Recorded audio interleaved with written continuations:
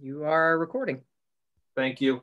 Uh, my apologies up front. I do have a hard stop for myself at seven o'clock with a prior engagement that I can't get out of tonight. Um, but uh, I will leave you all in the capable hands of Deputy Mayor Mazzarella. Um, this is being recorded, so I will be able to uh, enjoy it in my own time, watch it on YouTube later on tonight. Nothing better than catching back up on budget workshops on YouTube. Um, but I do appreciate everybody coming out tonight for this. Um, tonight is the uh, third and final budget workshop for the fiscal year 2022 budget for town of Wethersfield. And tonight we have actually some additions that maybe Gary will go into later on, but we will be hearing from the board or library and uh, the library board has graciously um, come on board to uh, to uh, present with uh, Brooke tonight or offer some backup for Brooke tonight. Um, after that, we have Board of Education giving us kind of a rundown. Uh, we're going to ask some questions about uh, some of the uh, comments that uh, were brought up last night at their uh, finance meeting on um, federal funds that are coming into the board, uh, either through ESSER funds, ARP funds, um, and how we're going to see those funds affect uh, FY22 budget. Um, after the Board of Ed, Gary, did you talk to um, Chris Monroe? Is he going to be on? Uh, hasn't necessarily been confirmed. It's kind of an extension of the Board of Ed conversation. Okay. But, but I believe it will be available. He is. At that point. And then, um, yeah. Okay. Thanks, Mike. And then after that, uh, Mike O'Neill will wrap up some of his um, department's um, subcategories in finance. So uh, I don't want to keep everybody. Uh, Amanda, hopefully you're not driving, you're parked somewhere safe right now. Um, and uh, Brooke, the floor is yours for the library. And um, we look forward to hearing from you. Okay, thank you, Mayor Rell. Um, Gary, do I have the ability to share screen? You should shortly. Try now. Okay.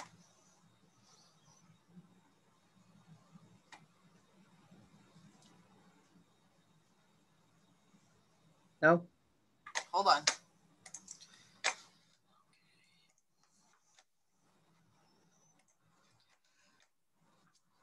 So thank you for uh, meeting with us this evening. Um, the library, uh, as many of you know, um, is truly one of the treasures of the town of Wethersfield. Uh, we are here to provide for the information, educational, and recreational needs of the Wethersfield community. Um, if you haven't read this cover to cover, um, there's a great chapter in here about the library. For those of you who would like the Spark Notes or Cliff Notes version, it's up on your screen right now for fiscal year 1920.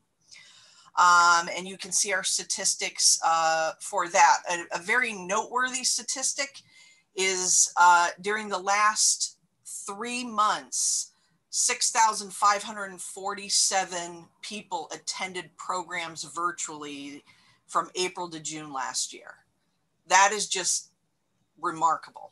Um, and and so I, I think that's just an, an interesting thing. At the beginning of the pandemic, we were able to reach and have that many uh, virtual uh, interactions or views.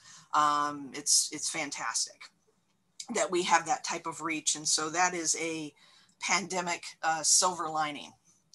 Um, the work of the library continues. So the budget book that you all have um, really focuses um, on the previous fiscal year through December of 2020. Um, so it's kind of an 18 month look back, um, but at some point we have to start stop writing. Um, and so we usually do about an 18 month look back. On uh, this next slide is that the library, the work of the library is continued. Um, we have had a phased uh, reopening and uh, we're really grateful to the Central Connecticut Health District that the library was able to put in place uh, preventative measures to keep the library and the community as safe environment as possible and to be able to open our doors. And uh, a big thank you to Charles Brown and Gary Evans and the staff that work as a part of the Emergency Operations Center um, for their help during their help and guidance during this time. Um, the library staff have been hard at work um, and uh, have been busy throughout throughout this entire time. And since July, July through the end of March, we've had an average of 125 people visit the library daily. Normally, we're between four and 500 people. Um, and so that is just, I, I, think, is, is great that we're having that many visitors. Um, I think it's, uh, I think as people start to become vaccinated and feel more, increasingly more comfortable going out and about in their community. Um, and as our hours expand, we only expect that those to, numbers to tick up. Um, we have circulated, again, this is July through March, over 130,000 items have circulated. Um, what is interesting is our overall CIRC compared to the previous fiscal year is actually down um, 47%. And our attendance is down as well. But if you analyze the numbers, less people are grabbing more and more material to, to check out. Um, and so when they're walking out the door, it isn't with just a couple of books, it's with like five or six books. So um, that's why our CIRC, um, we're down less people, but our CIRC is, is only half down, which is just kind of interesting when you're looking at the numbers. We have answered over 12,900 reference questions through the end of March uh, in a variety of ways that we reach people. Um, and staff have continued to deliver programming, and that includes uh, the Friends funded Take and Make and Grab and Go kits. Um, and that's to over 4,400 people. And again, we did a lot in April as well, but those numbers aren't final quite yet. Um, we continue with our collection development maintenance for our online and print collection. We were heavily involved uh, the first half of the year through the for the 2020 census. Um, we did a 19th Amendment celebration project, and we're currently preparing for the 2021 summer reading um, that we're hoping the Friends will fund again this year. Um, and we continue to coordinate with the schools um, with online resources and virtual class visits. Um, and the staff, we, we continue to quarantine, disinfect items that are returned to us and reshelve items that are returned to us. Um, and we're hoping that as this further guidance comes out from the CDC, um, that we'll be eliminating uh, the quarantine and disinfecting. Um, um, but we're just triple checking the science on all of that. Um, so you may have seen guidance on that and so we're we're looking to do that. Um, it, we started reopening in June 2020. We are currently open for the past several months, over six months. We have been open 35 hours a week. Starting this week, we'll be open 38 hours. Starting the week of May 17th, we will be open 44 hours per week, is the plan. And then after Memorial Day weekend, we will be open to the public 54 hours a week. Um, so we are excited uh, uh, for that for that to happen. It is important to note that several area libraries have just started reopening. Uh, Newington reopened today, where they actually let people into their building, and today was their first day of that. Um, so, and they've had um, restrictions on their end that they weren't able to necessarily overcome. It's a very different layout of floor plan, but I am proud to say that we've been able to serve our public for quite some time uh, during this pandemic. Um, the examples you don't see up here on the screen is our behind the scenes work, which is a lot of processing of materials, general office work, ordering supplies, um, processing payments, um, you know, that kind of work. So that's the stuff that you don't actually, you know, that a lot, there's a lot of behind the scenes work that goes on in the library. Um, I'm gonna stop the share. Um, moving on to the proposed budget, which you should have in your budget books, we can just go through line by line if you like. And we'll start at the top. Um, the first uh, 16 lines that you see there are, uh, including myself, uh, I'm non-union, but below that lines two through 16 are union staff. Um, it's important to note that we are in union negotiations right now with the two library unions. Um, and so some of the lines, if you look at a line like say number nine, office manager, you'll see that in the proposed budget, the salary line's the same because I don't know if there will be raises. Um, I did try to factor in each line if there was a step increase, um, but I've tried to factor other increases at the very bottom of the of the salaries where it says other. I did try to put in a a cushion of some sort, um, but I couldn't do it line by line because we just don't know. Um, and so union negotiations are plugging along, and it's uh, been a pleasure working with Ken Plum as we've been moving forward. So we've had um, several productive, I would say productive meetings. Um, below line 16, we start with our non-union part-time staff. At the beginning of the pandemic, or about a couple, I want to say about a month or two in, at some point, we did furlough 16 individuals um, and then slowly started bringing them back over the summer and into the fall. I still have two uh, part-time non-union staff that are still furloughed um, and we'll be sending letters to them in the near future for them to return or not and they, a decision needs to be made whether they're going to plan to return or not. I have cut about over $20,000 out of the non-union part-time budget. Um, some lines I can predict pretty easily, um, but I did cut, you can see part some, just if you just pick a line, part-time library associates, I reduced that line by $5,000, anticipating I'm using them less. The furloughed staff in their, their letter, it did indicate that when they return, if we're able to bring them back, that they would more than likely have reduced hours.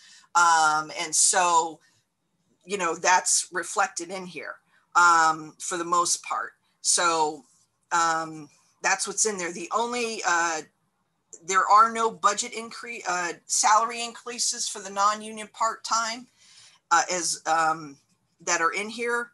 Um, yeah, so there is, yeah, there is no uh, except minimum wage increase, and that would be for the library page line there is the mandated uh, minimum wage increase, and that's part-time library pages. Um, uh, moving on is employee insurance. Again, these are costs that I, I we don't have control over. Uh, ticked up a little bit. Health insurance ticked up a bit. Um, the pension uh, significantly ticked up a bit. Um, and defined contribution went up a bit. And workers' comp came down $20. Um, so that all those lines, uh, you know, especially the employee insurance, health insurance, pension, the DC and the workers comp, we don't really have control over those costs. Um, so that that's where the real budget uh, increase is, is, is, in, is in those lines. Uh, copying and binding remains the same. Travel, training, and dues remains the same. Professional services uh, remains the same. And, and professional services is our D&O insurance that we need to have for the board of directors. Um, and we do check to make sure that we need that, and we do. Um, we do check with the insurance, and they say yes. Um, uh, programs, we, we, we've kept that the same. Um, just because programs are virtual doesn't mean it, it costs less. Um, a, a, another pandemic silver lining is we are doing um, shared programming with other um, lo- local libraries, which is something we would have never have thought of doing. Um, we recently did a genealogy workshop. We did a job series workshop with local like Newington and Berlin and Rocky Hill. Um, and so we're able to share the cost of a speaker, have multiple series, and have a lot of people attending these programs. So those have been uh, well received. Um, and and uh, and the friends uh, have funded the summer reading. Last year they gave 6,000. This year I'm only asking them for 5,000 and the library board last night approved me to ask for $5,000 for summer reading. They still have, the friends still have to say yes. We hope that they will. Um, but that's our, that's our programming. Uh, tech support services is, I just kind of put in a number there, you know, $80,000. I can spend well over a hundred without any much effort whatsoever. Um, and at the end of the year, if I do have left money left over, I do will make a drop of say 10,000 or 15,000 into say overdrive and we'll drain that through the year or hoopla, which will, in those, these are online, you know, ebooks or streaming movies or something like that. And, or, you know, so we will do that. Um, but I'm careful not to give any particular vendor too much money um, because they're eating each other alive. And so I don't want to like commit and give a company more and then suddenly they're out of business. And so I am very mindful of how much I give them at the end of the fiscal year and we check it. Um, and this year, I don't know that we'll be giving to overdrive because we feel like we have a healthy deposit at the moment. Um, but we'll be uh, looking uh, to um, perhaps with Hoopla if we have any leftover money. Um, so, and the tech support also includes the cost for the shared catalog. We're part of multiple consortiums. One of our consortiums is our shared catalog, and that saves all the libraries the cost of a system, what's called a systems librarian, and uh, it costs us about so half this budget is 40 grand, and that's what that's for, um, and it's well worth the cost. Um, so we're pleased about that. Custodial services. Um, we, we, we have enhanced cleaning going on right now. Um, and I'll be working with Charlie to make sure that we're not doing performative cleaning, um, you know, and so we want to, you know, make sure that we really, you know, do need this, but um, I don't know that when we'll, we're probably at some point due to bid this out. Um, so this past year, it was this current year, it's $30,000. I did tick it up a little bit to $35,000. Um, the place has never been cleaner. Um, and I've had to pay for, when we did close the library down um, a couple of weeks in January, um, and we did do a couple of deep cleanings. So, um, you know, those costs are, you know, are born out of that. So I come out of that. So postage and delivery remains the same. The telephone uh, communications uh, remains the same. Um, if I can once again ever make a plug for voiceover IP, I'm right on board. um, it, it, cannot happen soon enough. Uh, staff throughout the town, their handsets fall apart, voicemails get missed. Um, I get notice after notice that no one is supporting any of this equipment. It's already years and years out of date. Um, and so it's it's just very difficult. I know that when Rocky Hill went to voice over IP, their library specifically, 50 percent of their call volume just vanished because you can answer, "Are you open?" with "Yes, we're open." with a button and not a staff member. And so it would there would be a cost savings to town, I feel, um, because that's a lot of the questions. Are you open? And it's on our website, but some people need to hear a voice, and we don't want to like deprive anybody of a voice. And you'll get to a voice, but if half the questions are, "Are you open?" You know that's that's a problem. um, the office machinery services is our RFID, which we're in the process of upgrading to Windows 10. And so thank you for last for this current year's um, CIP money for, for, for that upgrade. Repair and maintenance, we've kept the same at 4,000. Uh, specialized agency supplies, that's barcodes and um, things that we use for library, uh, the library cards themselves. Um, so we've brought that budget down um, $1,500 from current year. Uh, building materials um, is, is, we've kept it the same. We've blown through this budget, uh, this budget line, this current fiscal year. Um, and that's where a lot of the PPE is coming out of and other uh, cleaning as custodial supplies. Um, so we've blown through that. Um, general office supplies, we brought down this year um, a couple thousand dollars um, to $9,000. And um, Elaine, the office manager, was not thrilled with that. um, it makes her very nervous, um, but I think my hope is, is that we'll be okay.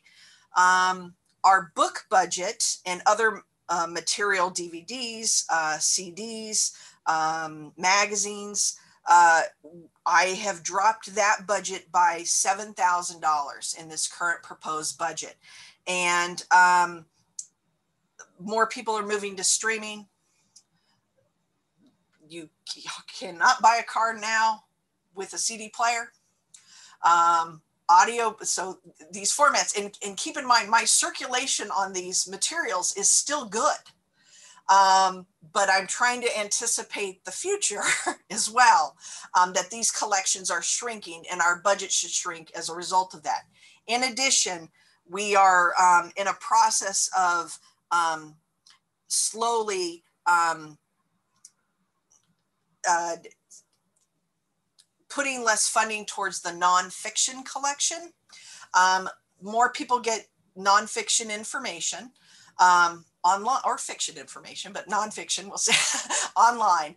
Um, and if they're looking to um, find information about, you know, pick a, a, a famous person, um, they're more than likely going to want to look it up and find the quick fact online than to read, a, say, a biography. We're still purchasing biographies and autobiographies. We still purchase them and we're, we're doing fine, but we don't need to perhaps invest as much as we have previously because people are getting that information in different ways, which isn't bad. It's just that's what's happening, but you should, ref- your budget should reflect that as well. Um, in addition, I we do have, um, uh, and I'll get to this a bit later, but we do have supplemental income to help with this particular line as well. And finally, uh, the last line in here is IT equipment and uh, software. Um, the current year is about $7,000. Um, and this is the time of year actually we make end of year purchases. Um, and the reason I've increased this is because we are going to be transitioning to Gmail.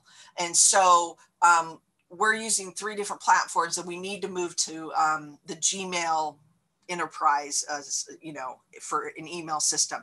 And that's, I have to pay for every single account. Um, and so we're moving in that direction. There's going to be a cost associated with that transition. So um, that's what's that is budgeted in for. So it is an increase of uh, $31,967, um, which is a 1.55% increase from the current uh, fiscal year. If there are um, cuts to the proposed budget, and I understand you all have a, some very serious decisions that you'll need to make in the next few weeks. Um, the process is, is I make recommendations to the library board for their consideration. And my recommendation would strive to have the least amount of impact to the public as well as the staff and still maintain quality service. The library board would have a final approval of where those cuts would come from. Um, what would some of my suggestions be? Um, it obviously depends on the cut, but it, it probably less hours of operation. I'd be looking at weekend, I'd be looking at evening hours, um, less programming, either in person, which we're not doing right now, but virtually. Um, further reductions in the collections, both online and in print.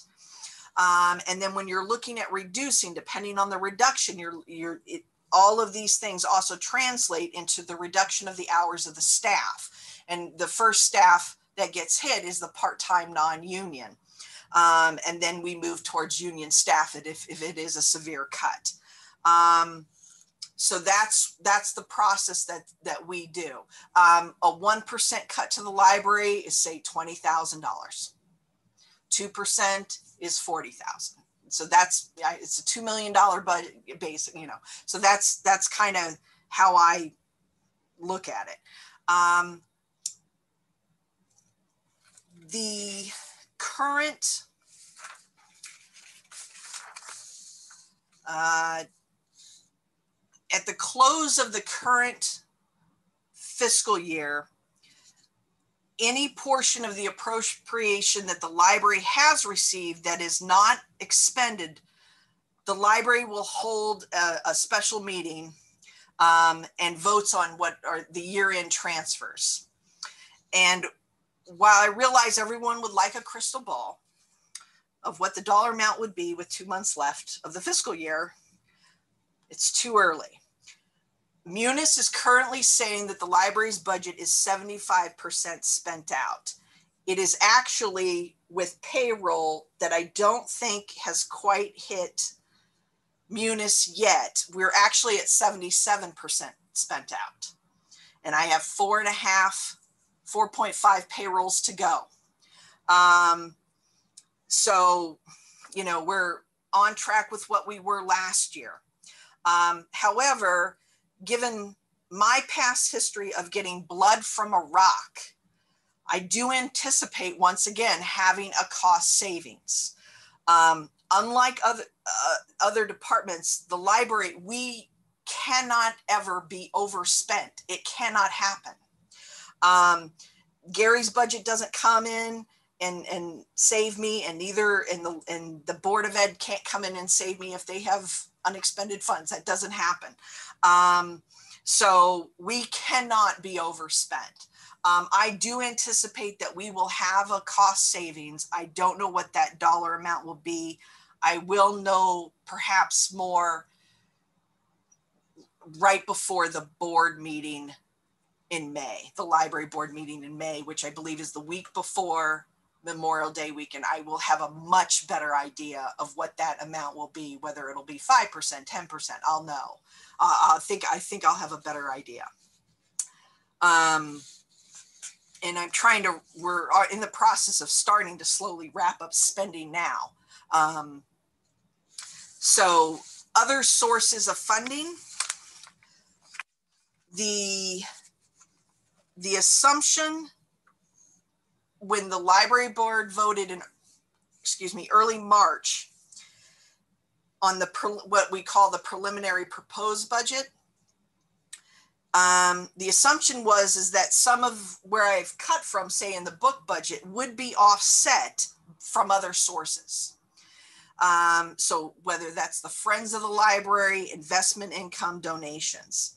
Um, it's extremely important to note that these other sources are limited.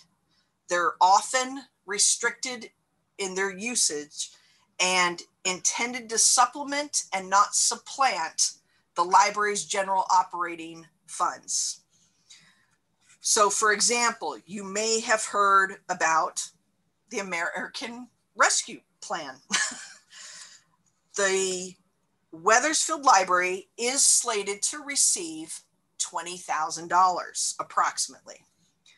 However, we have to apply for it. And the terms of the grant is what I would call a tad restrictive. And it does not, and it specifically prevents me from what I like to call robbing Peter to pay Paul. So if you were to say, Brooke's getting 20 grand, we're going to take 20 grand, that it's not going to, I'm prohibited from from doing what you what I would think I could be able to do.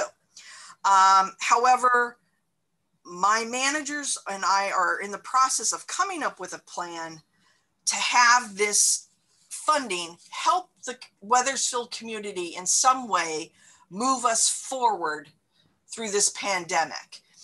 And and so that is something that we are looking. So we're trying to view it as a positive, um, even though it may not help me initially the way I think it should help me. um, so it's it's a it's a twenty thousand dollar yay for Wethersfield for the library. Um, but I have to get creative, and whether that's some program on say workforce development or something for early childhood, we'll figure it out and we'll have those dollars stretch as far as they can go to benefit the Wethersfield community. Um, so we're in the process of that. Um, and it is it is actually just like a blessing that this is you know is coming um, you know and that in the town what they're going to and the board of ed will be getting with their money it's it's you know it'll be help us the community move forward. Um, the library's investment accounts are thankfully hanging in there. I could not say that this time last year as they were tanking. Um, but they came roaring back in early july or early june. Um, so for example the showman endowment um, uh, Jane Showman, she passed away about a decade ago, and the proceeds from the sale of her house came to the library. We can only use those funds for adult materials. So I cannot buy a children's book with those materials. Um, and we use uh, the income that's generated from that. And there's rules and restrictions of what you can and cannot do with that money.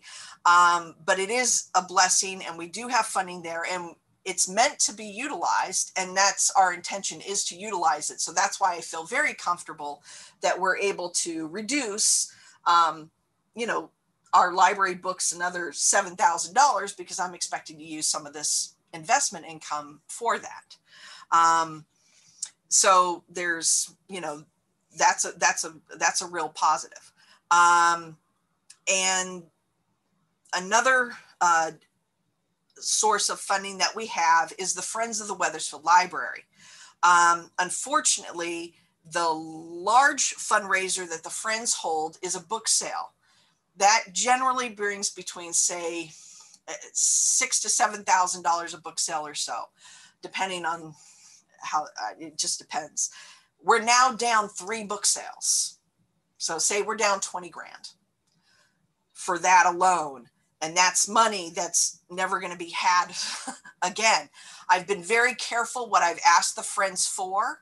Um, so they do have some cash reserves, and I want to be very um, uh, careful what we do ask them for. Um, and so they, they're helping with museum passes, they help with um, uh, the take and make and grab and go. They were thrilled to fund that, and we were thrilled to have them pay for that. Um, and uh, the public has loved it. Um, and so, just want to be mindful that their income stream has dried up completely. They do not know if they're going to have a fall book sale, and then that would be four book sales. Um, but I am asking them for $5,000, um, which would kind of be the equivalent of a book sale for summer reading and uh, fingers crossed that they say yes. Um, so the friends our fundraising arm is is is hurting. Um, so that's sources of, of funding. Um, and as far as revenue that we generate for the town which is the other side of the budget right? So uh, any revenue we have brought in during the past year has been negligible. I would I, I'm guessing it's less than a thousand dollars. Um, our proposed budget revenue for the upcoming fiscal year is is five thousand.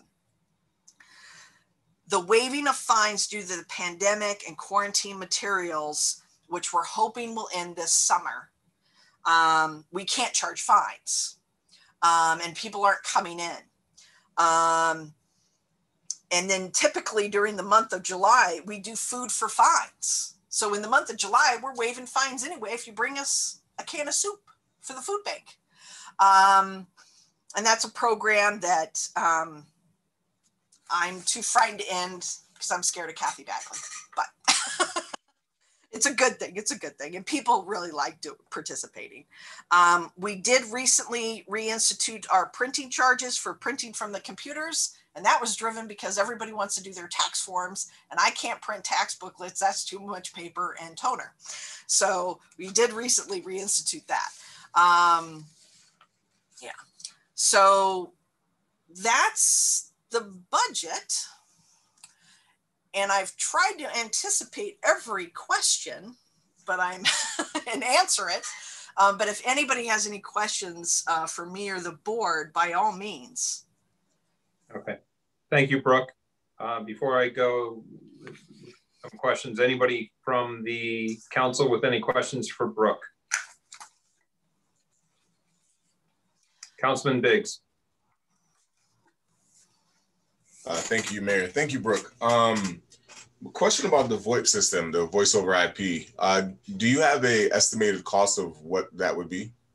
No, I do not. Um, it would be, uh, I, am hoping maybe Michael Rell, I mean, I'm sorry, uh, Michael O'Neill would have that. Um, I, I, I do not know. Okay. I do not know. And I'm assuming it would be connected with whatever the town is doing on the side of you. Absolutely. In the spirit of shared services, I am 110% on board with sharing voice over IP with the town of Wethersfield. Got it. Thank you. 10%. Thank you.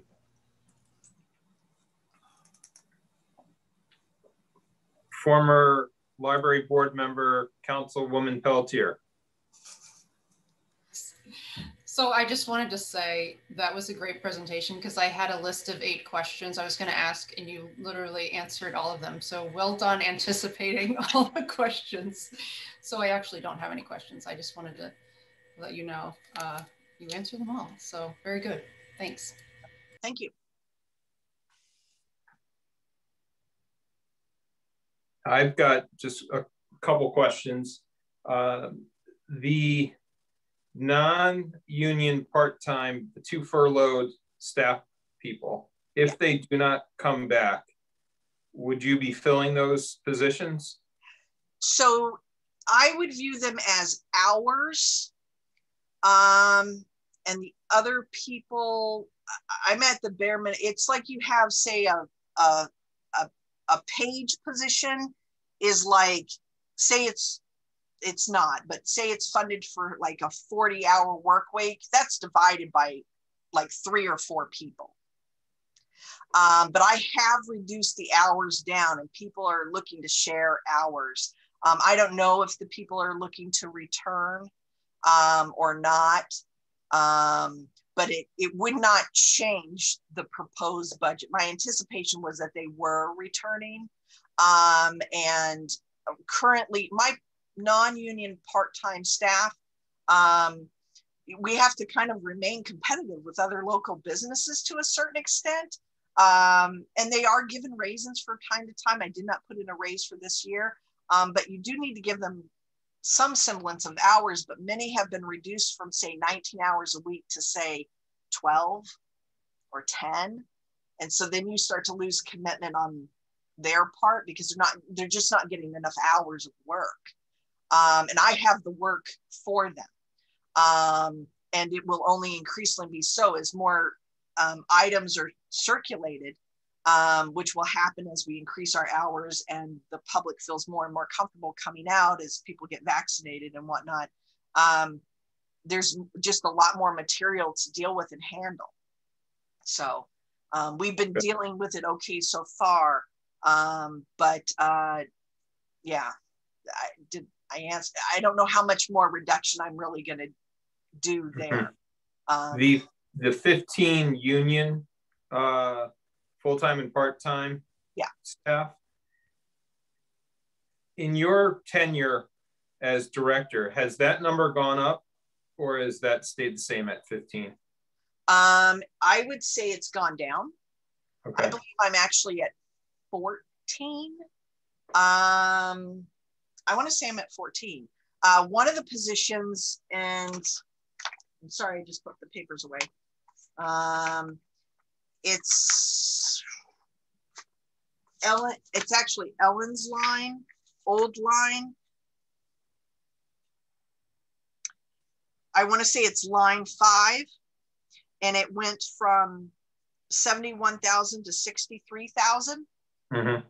um, because she was step eight and then went down to uh, step. It, I dropped it to step one. I'm actually not looking to fill that position until the fall. However, I have to keep it fully funded because if I don't and I fill it next year and I've made the reduction here, it would be such a, you know, it's a librarian, it's jumping up 20. And it's like, why are you jumping it up in one year? So I've kept that line, but I'm actually not going to fill it until the fall. And so for the first quarter, we won't be paying someone out. So there is a savings there, but I can't reflect it in here because I'll be hit with questions next year of why did this salary jump from here to here? Um, I will have to pull out, you know, I'd have to pull it out of somewhere else. And so, right.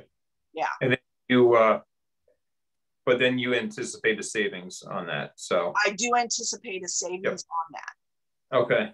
Uh, ARP funds of $20,000. Could any of that go to co uh, custodial services? Um, for enhanced cleaning, um, perhaps. Um, and so I have enhanced cleaning going on on Monday and Tuesdays as a midday cleaning. I'm looking to do that on Thursdays as well. But again, I'm checking with um, Charles Brown. I want to make sure that I'm not doing performative hygienic theater. okay. And is that grant a competitive grant or is it a straight grant all libraries, all towns get through ARP? Um, I know that I, I, I have to, I'm not, I don't believe I'm competing with others. I'm competing with the requirements. Got it. Okay. If that makes sense. I, but I can't, I think some towns may have gotten other buckets of money and they're not getting this, but they got something we didn't get. Um, so there were other grants that were out there that we were not eligible for, for from the get-go. And that was last, you know, say six or nine months ago. Okay. And then, and that maybe answered the other question I had. Did you receive any other funding either through state rescue plans, uh, through OPM or anything I think that's answering your other you, you the question. Yep. Yeah, not that I'm aware of. Um, and we've been looking, and I thought initially we were eligible for something in, oh goodness gracious, um, the fall probably. The fall, yeah, or I want to say late summer, and yep. um, they, I think there was a lot of miscommunication with the state library that it turned out only a handful of libraries were eligible. We all thought we were putting in um, for something and waiting for instructions that we never received. And then we are like, what? Cromwell got something? What? Why didn't we? And we weren't eligible. So that may be something we can talk to our delegation, legislative delegation about if there is any type of, I know there is some funds coming through OPM and the legislature for enhancement, summer enhancement, enhancement, um, enrichment programs for kids do you do any school or like summer camps? No, I I have seen um, the initial some initial things on that, and I'm under the impression that's more for schools or parks and rec. Um, we don't, we haven't hosted anything like that. Gotcha. Yeah. Okay. Any other questions? I think you're good. Thank you for your time. It's greatly appreciated. And yeah, so thank you and good luck. Yep. We're going to need it. Okay. Thank you. Thank you uh, so much. Library board members. Good to see everybody back again. Thank you. Take care.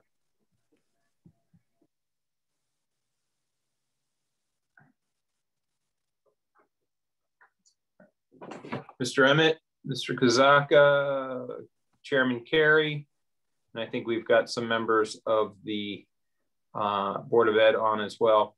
Mr. Emmett and Mr. Carey, if, uh, you may not have been on in the beginning. Uh, I unfortunately have a um, prior commitment at seven o'clock, uh, but I will listen in for the first, uh, what do we got, about 15 minutes. I got to jump off at seven o'clock, literally switching from one Zoom to another. Uh, but you will be in the capable hands of our deputy mayor at that point. Um, I apologize. I did not get a chance to see last night's Board of Ed meeting. I had another board meeting uh, simultaneously, and I never got a chance to watch on YouTube.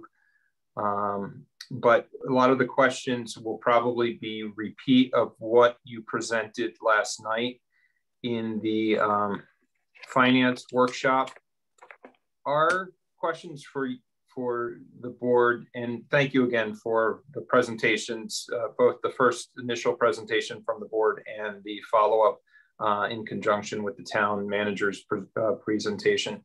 Um, I guess what we're looking at is uh, possibly four buckets of funds that the board may have received. Um, one would have been similar to what I was just talking to um, Ms. Berry about the, any kind of Connecticut rescue plan that had come out over the summer uh, from OPM or from the governor's office.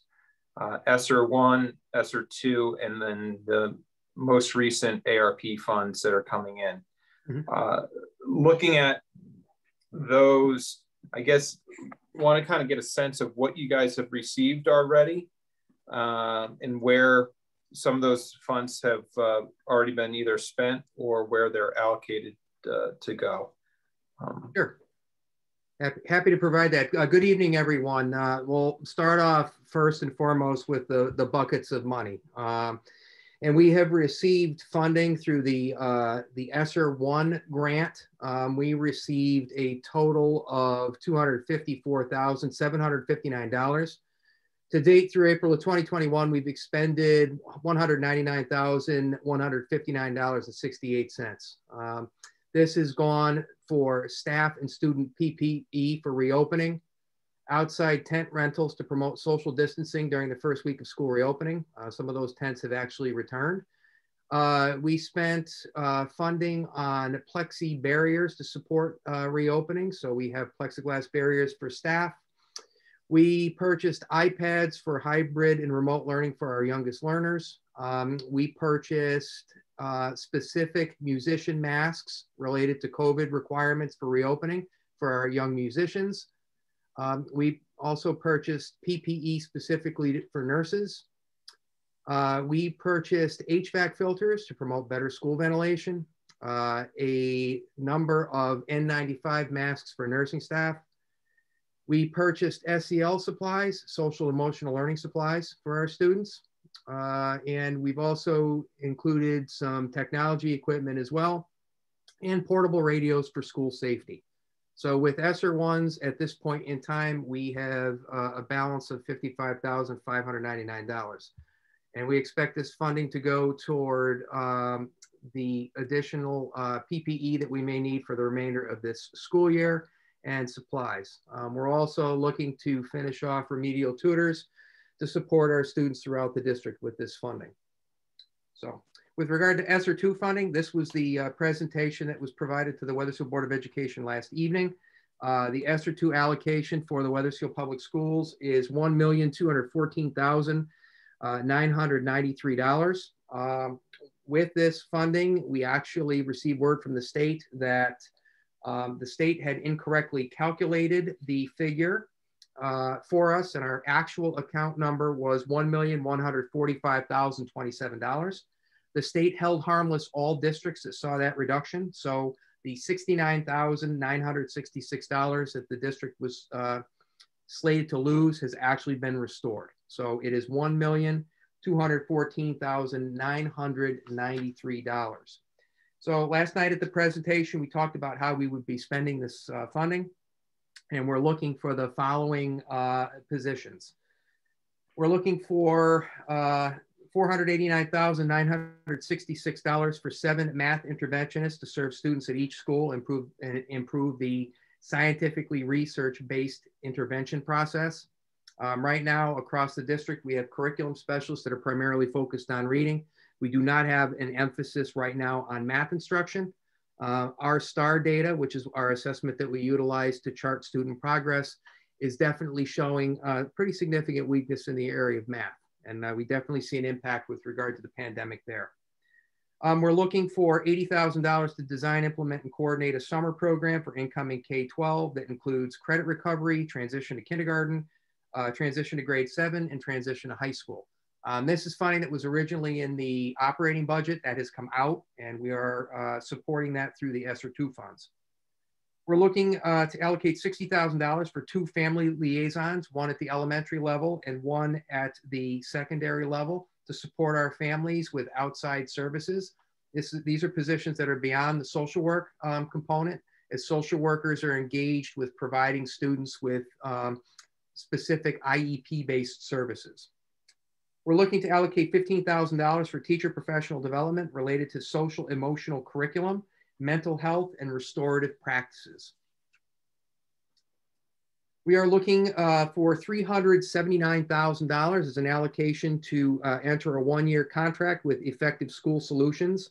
This will provide clinical mental health support for students and coaching for our staff members. This is going well above and beyond the resources that we currently have within this district. And let me say clearly, as we've seen our students come back to in-person learning, the need is absolutely there. Um, we're looking also for $100,000 allocated to purchase Rethink Ed curriculum. This is software for tier one lessons related to social emotional learning. Um, this has been vetted by our teaching staff, both at the elementary and the secondary level, and uh, this will be implemented across the district.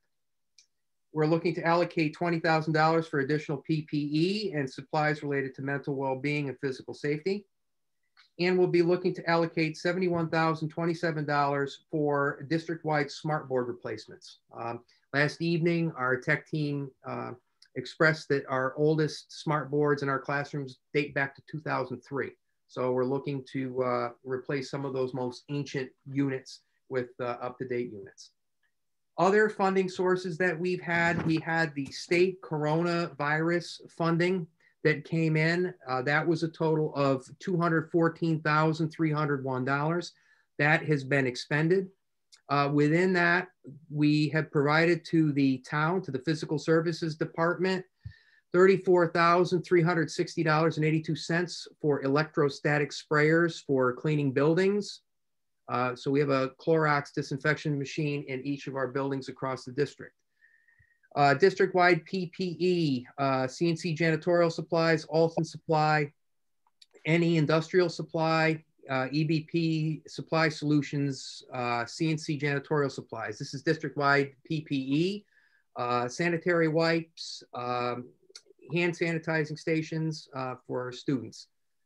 Also, um, we uh, provided to the town $5,567.40 for elementary touchless bottle filling stations. Um, so some of our uh, old water fountains did not have that capability and we did not want to provide students with an opportunity to touch surfaces. So we replaced uh, several um, old antiquated uh, uh systems with the new bottle filling system. So um, to all told, um, we provided the physical services over this past year, $83,337.37. Um, other aspects, one of the things that physical services has taken on through our shared services um, operation is furniture. So I do want to let the council know that with regard to um, furniture and equipment, we utilized our um, cafeteria fund to purchase uh, convertible benches, folding tables, and chairs. This was related to having to reconfigure our um, cafeterias to support students being able to eat while being socially distanced.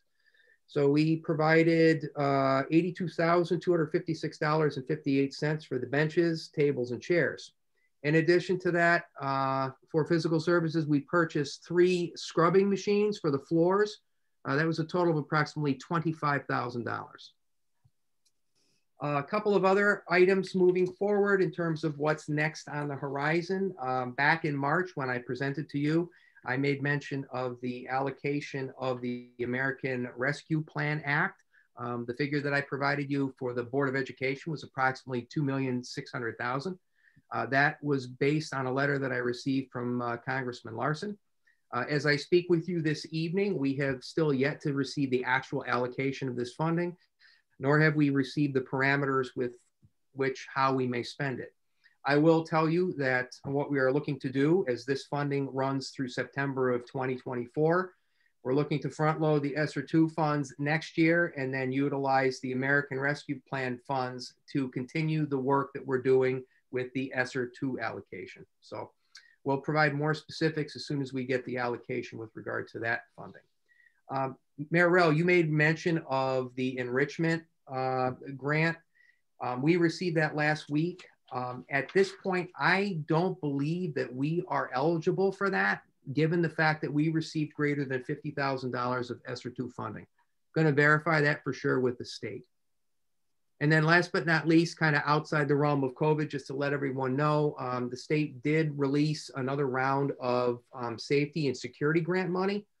Um, we are actually looking to submit a grant for reimbursement for um, the replacement of our NVR system at Wethersfield High School and uh, increasing and replacing the number of cameras that we have across our schools. Um, again, one of the things we've done this year is with the new NVR, um, back in the past, we had relied heavily upon Honeywell to uh, manage the system.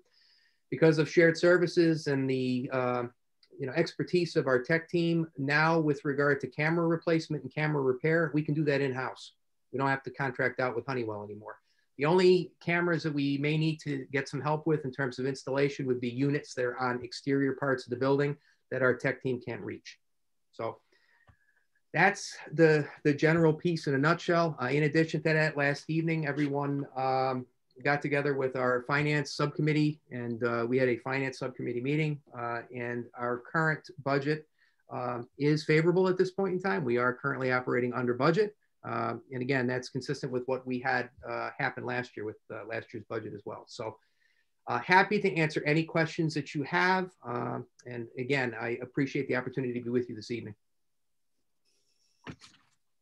Thank you, Mr. Emmett. Um, I will first ask any questions for you or uh, for Matt on those that are on the Zoom right now. Uh, unfortunately, I'm going to jump off onto this other Zoom. I will keep you guys on. And if I get a chance to toggle back and forth, I will. Um, but uh, I appreciate you uh, running through all those numbers. I tried my best, even to the 37th cent on the uh, PPE that you got us. So um, I will turn it over to the deputy mayor to run this, and then you know you guys can you know discuss some some things back and forth, and I'm sure that there will be some ongoing conversations with Mike O'Neill and Matt Kazaka. Mm -hmm. So I appreciate the presentation, and um, I look forward to uh, to talking to uh, the council members and to Mike uh, after this. So thank you very much. So we'll open it up to uh, questions from counselors. If you have any for Mr. Emmett. Matt, jump in there. Thanks, Tom. And good to see you this morning, as always. Yeah. Um, Mike, I'm, I'm trying to, uh, you know, my first indication was that some of the ESSER 2 funding was uh, for you know, obviously beefing up that transition back to school and and many positions. Um, as we sort of move, we're going to use those funds. But then I thought, you know, is this like a one-shot deal where we we sort of beef up a lot of the whether it's staffing and support systems, right? And then 12 months from now, the ESSER funding's not there and it tails off. But then there was some discussion about uh, because we have until four four more years, right? Then we're going to sort of use some other funding from the re- recovery funds, I think it was Correct. called. Correct. But uh, but there wasn't much discussion about okay, like here's where we see our needs for in the next year. My gut from like listening to the way you guys were piecing it together was we're going to have some social emotional stuff as we sort of transition back. We're going to have some tech issues as we transition back. we got to get, get people caught up because there's yeah, that year was a little dicey. I think we can all admit, mm-hmm. and um, and that that you know that was that first 12 months coming back, but then you know there's going to be as people transition back and becomes more normalized, which I think we're expecting to do. Then like we never talked about how what your what your future those next three years were, and then this is some significant money, right? So if we're anticipating three or four years goes by, is there a tail off? Do you think the town would be then in a position where, okay, like we've seen like a lot of grant positions, the grant money dries up, we think it's nice, but now we've got this ongoing obligation of another 2 million. I'm sure someone like Mary was to jump into something like that.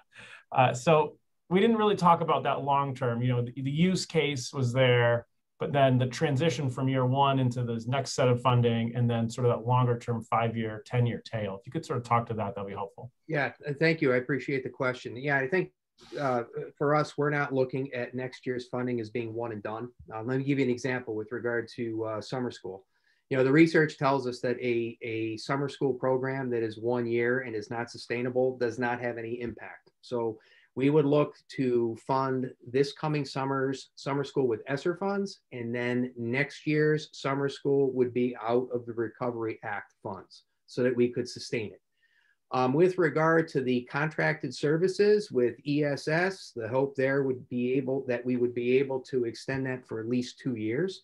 Part of the process with that, Matthew, is to make sure that we build the capacity also within our staff to be able to take that and run with it. It's one of the reasons why it's a contracted position. Um, we faced this before. I know, you know, back when you were on council the first time you were on the board, we've had these grant funds come in and then you end up with that cliff. So one of the reasons why we're trying to balance it out with ESSER funding, then followed by the rescue plan funding, is we can sustain it for a longer period of time. I think the more challenging positions are going to be those math interventionalists down the road when the money eventually runs out how do we absorb those positions within our budget? Those I see as being a challenge. Again, with the family liaison positions, I think down the road, if they pay off the way we think they're going to pay off, um, you know, that may be something we can explore grant funds to continue to support. Uh, but that's kind of a nutshell of, of where we're at. I want you to be clear that we're not looking at this as being one and done. And we recognize that, you know, we're eventually going to face that cliff down the road. So what does that cliff look like three years from now, four years from now, when the when that second uh, I forgot the recovery funds dry up? Yeah, well, it's going to look at when you look at it from the perspective of the math interventionalists. We were looking at uh, the the four hundred and eighty nine thousand, so it's about a half a million dollars for those interventionist positions. I would see eventually that the the support uh, from ESS, the contractor, I would see that fading out. Um, so that would no longer be a, a concern as I said, with regard to the um, professional development, the PD that we're doing with regard to um, restorative practices, that's another one of those components where we can't do a one and done. That's got it. And that's really when we look at the need for um, moving staff forward and, and getting them back in, that restorative practice work and the SEL work is going to be important. And with that, again, 15,000 every single year, well, we'd be able to absorb that either within the budget or we could utilize title uh, funds down the road. So I don't see the, that PD piece being a major concern. Um, certainly the biggest concern for me would be the interventionalists. And so I guess it's four years from now, we're looking at maybe a half a million dollar cliff where we can, we'd have to evaluate to see correct uh, you know what effect these these people have had in the out you know, student outcomes scores etc yes and do you have a will do you have a, a, a mechanism for measuring the success of these? Not just the interventionalists, but even the other programs as well. I mean, this is this is much more than even a half a million dollars worth of intervention, so to speak. Yeah, I mean, in terms of a, a mechanism, certainly the math interven- interventionalists, what I'd look to see is I'd look to see improved math in, uh, achievement among our students. Uh, I'd look to see enhanced instruction within classrooms to help kids catch up looking at enhanced instruction to help kids accelerate. Um, with regard to the ESS component, uh, that's going to be based upon each individual family. Um, you know, I will tell you that we are certainly seeing the impact of this pandemic over the past year uh, with the number of students that have uh, mental health needs. Uh, being at the high school this afternoon, you know, having an administrator come up and say, hey, we, we really need some help. Um, we don't think this is going to be a, a short-term effect. We think we're going to be dealing with the effects of this for, for quite some time. You know, you look at it from the perspective of, you know, families and, you know, losing jobs, we've seen it, the increase in homelessness. Um, you know, I think from a perspective of ESS, providing that, that tier three support, the most clinical support, connecting families with mental health services. Um, I, I can't tell you the number of families we've dealt with already that are on waiting lists or that are awaiting placements at a facility. And in the meantime, these kids are left to twist. So having that additional support with the clinical focus, um, I think is going to be critical. Again, my expectation, Matthew, would be that we would phase that out as we build our capacity um, moving forward. So um, what we're talking about specifically for the math interventionist, it's a, it's a big piece of this program. Yes. Um, are you anticipating like we're looking at standardized test scores, whether it's SBAC or SAT or ACT or AP? Like, are we going to be looking at those? Like, okay, you know, 19 and 20 and 21, we were here. Now 22, 23, 24, we're here. Is that, I mean, the kind of stuff that we can anticipate, you know, for this type of investment? Which yes, I, I love investing in our town. Don't get me wrong. Absolutely. And I think, you know, one of the other things we did this year when we're talking math, um, the board was proactive in reallocating current funding uh, to support continuation of our Go Math program. Um, some years back, we adopted the Go Math program and we invested in a six year commitment. That commitment is ending as of this year. The board has already approved funding out of this year's operating budget. So I have all of my materials for Go Math for the next three years. What the math interven interventionists will do along with teachers within the next three years, it will be to assess our math program and look at other alternatives for our math program so that three years out, we will be prepared to either A, continue with Go Math, or we will be selecting another program. But it, it buys us some time and it gives us some additional opportunity for data collection. Okay.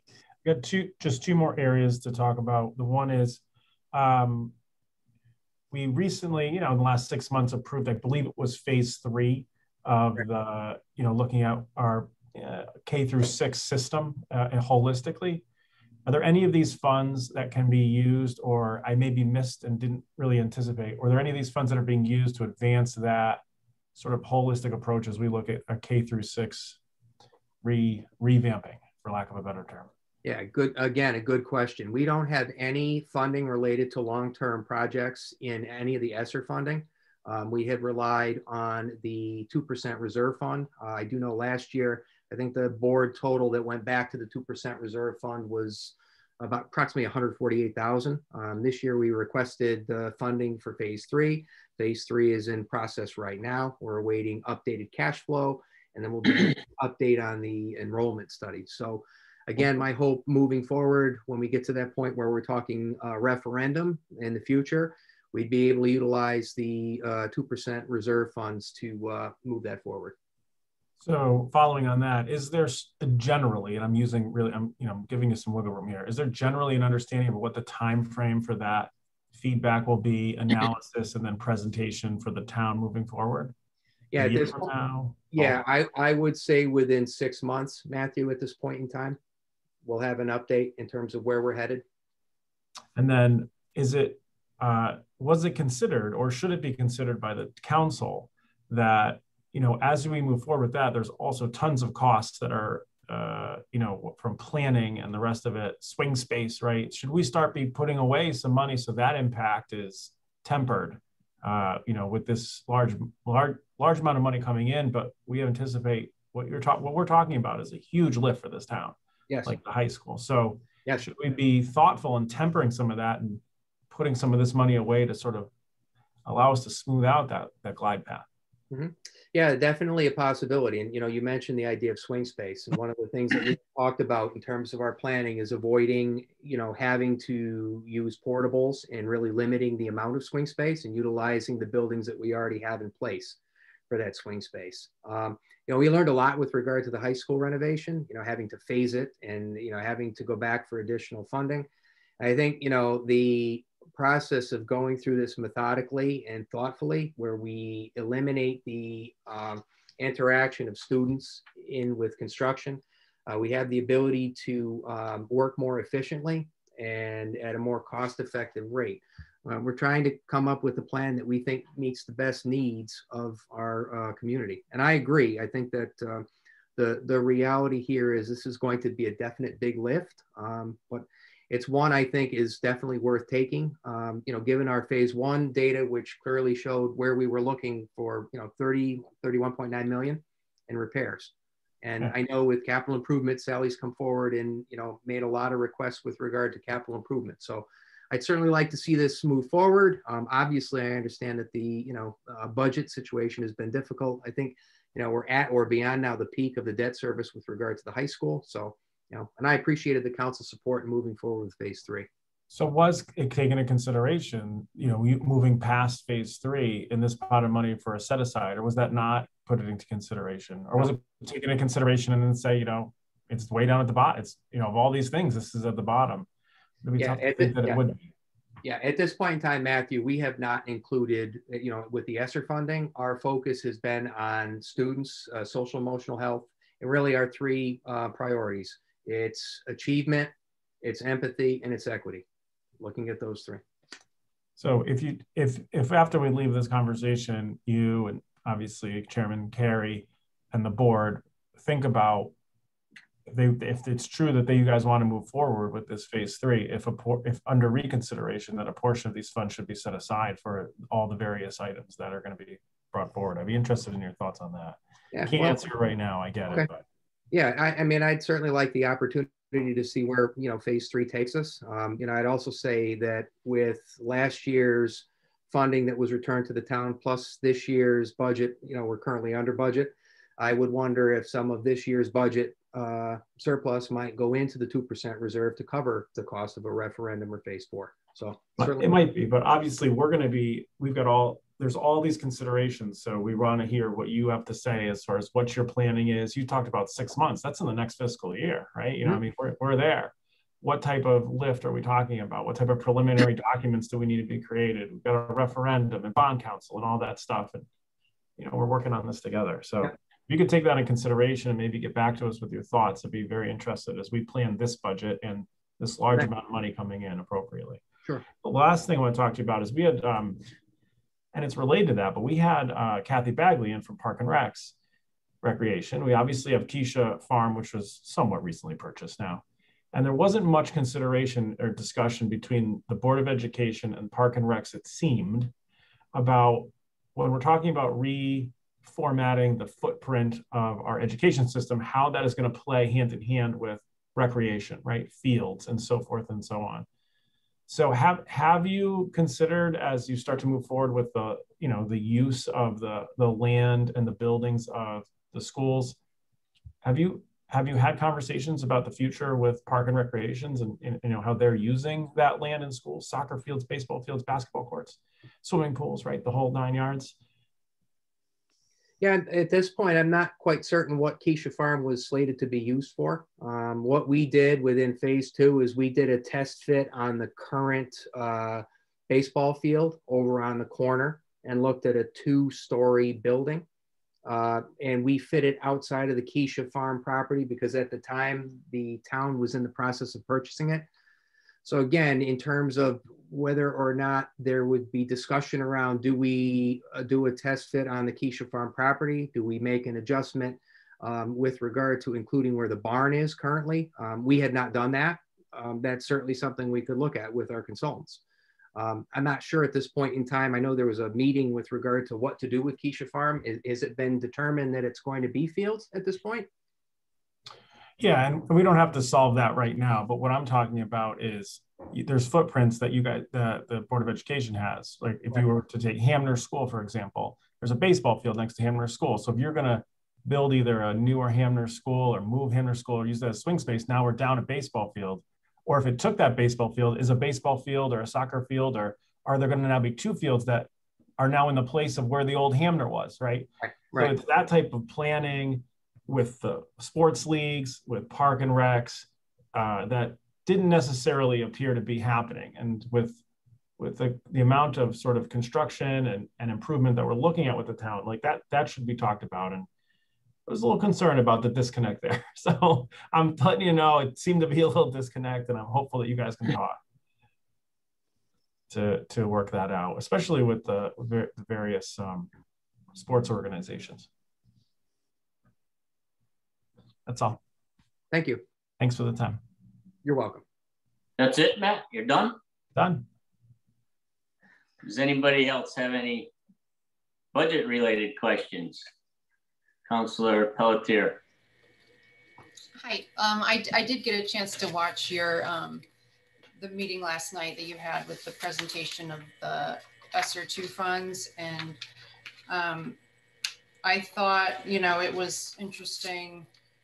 You found a way to spend every penny, um, and some things were great. I think the math interventionalists like that would be useful, obviously. Um, but I was wondering if you considered looking into your proposed budget and for items that you could um, that you could use the that ESSER money on that instead of asking the taxpayers to pay for it. I know there's you know technology included in your proposed budget, um, you know, maybe some social emotional learning stuff included in that budget and just, you know, ways to um, use that money in that way. Did you consider that instead of looking for all, you know, new programs and new things to spend the money on? Yeah, actually, uh, Ms. Pelletier, with regard to our increase in the proposed operating budget, um, the only things that are in there are two administrative positions. Uh, and I believe there was also funding for our participation in the CREC teacher residency program. Um, what we did up front was we originally had the summer school program in the budget and we have uh, shed that. So that's no longer in the budget. Um, you know, obviously, um, you know, we're amenable to looking at any way we can to make this budget work. Um, you know, I will say also, and Matt, I'd like to, you know, have you weigh in on this as well in terms of the, the budget increase for the operating budget next year, what percentage of it is it all is it fixed cost or is it like uh, flexible cost? Can you weigh in on that, Matt Kazaka? Sure. Within the town council presentation that was about a month ago, we had a slide in there that was a graph detailing the um, dollar amount change by object code and looking at salary and benefits, which are all contractual obligations, we were at $1.9 million versus the total budget request of 1.5. So that was 125% of the total request. If we back out those two new administrative positions, we're still at 1.66 million, which is 108% of the overall budget request. And that's not even factoring other um, fixed costs when you're looking at transportation and tuition. We were fortunate in December and January to project a decrease in special ed tuition and transportation, but we know that's already changing in this month and going through the summer that while it is a decrease in our proposed budget, we could have several outplacements by the time we hit August and September, and that number could flip dramatically.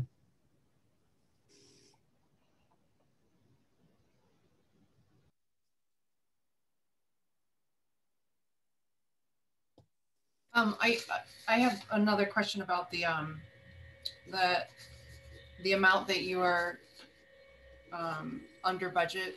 It's about seven hundred and change. Um, is that what's projected to be um, left over at the end of the school year, or just? Correct. Seven hundred six thousand is the projection through the end of June. Okay. And um, just to go back quickly about the um, the ESSER funds and you know maybe finding some things that are in the proposed budget you could spend it on. I it, it's sort of I you know I did look over the guidelines and it seems like it's pretty flexible um, for what you could spend the money on. And it seems to me there's even a you know, you call it a catch-all provision at the end that says it could be used on, you know, other activities necessary to maintain the operation of and continuity of services in local educational agencies and continuing to employ existing staff of the educational agency. So I just, you know, I, I would have liked to see some of it offset, um, something in the budget, even the, um, the CREC teacher residency program, I think, could, um, be paid for out of ESSER funds from my reading of the guidelines. So, um, I don't know, I just think that might be something you want to consider.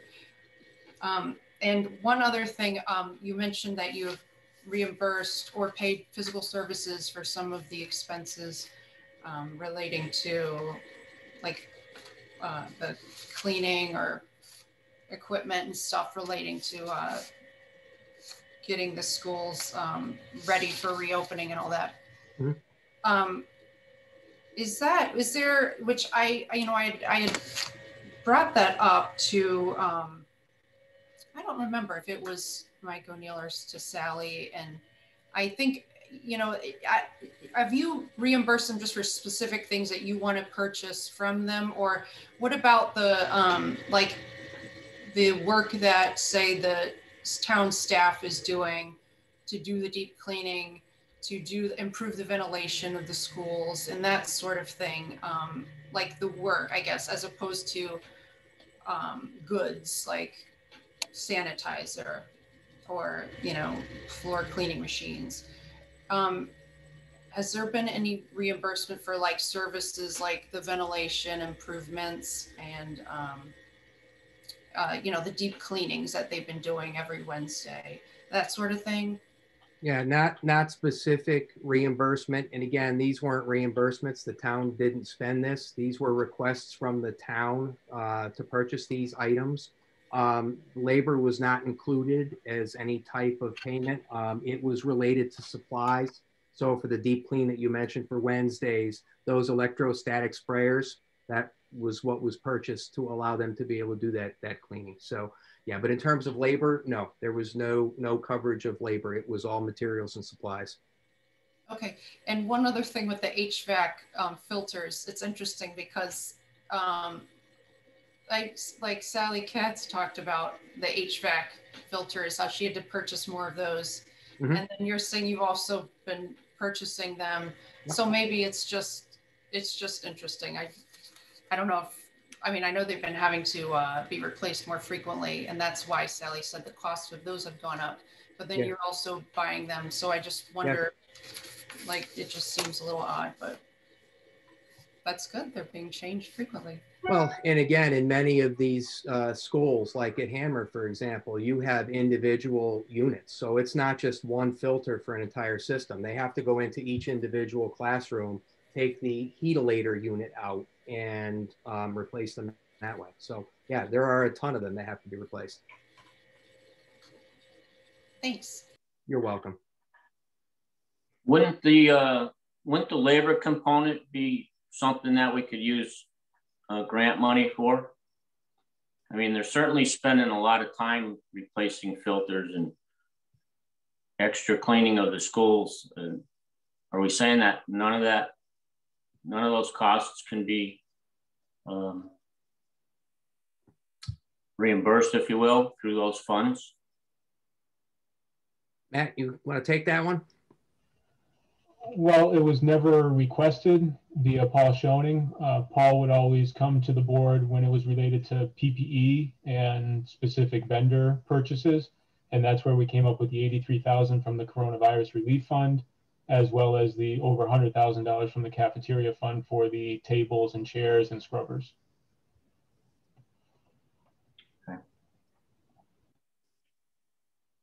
Councillor Biggs. Good evening. Uh, hello, Matt and Michael. Uh, thank you for the presentation. Uh, my question, is, as it pertains to the budget and the positions, um, you spoke before, not tonight, but before our last meeting about uh, special ed supervisor and the two administration positions. Um, as far as the special ed supervisor, would that, and, and you're the professionals, and so I'm just trying to get your ideas on this. Um, would that be more impactful than having an actual teacher to help take off the workload of the other teachers in the special ed, as well as those administrative positions?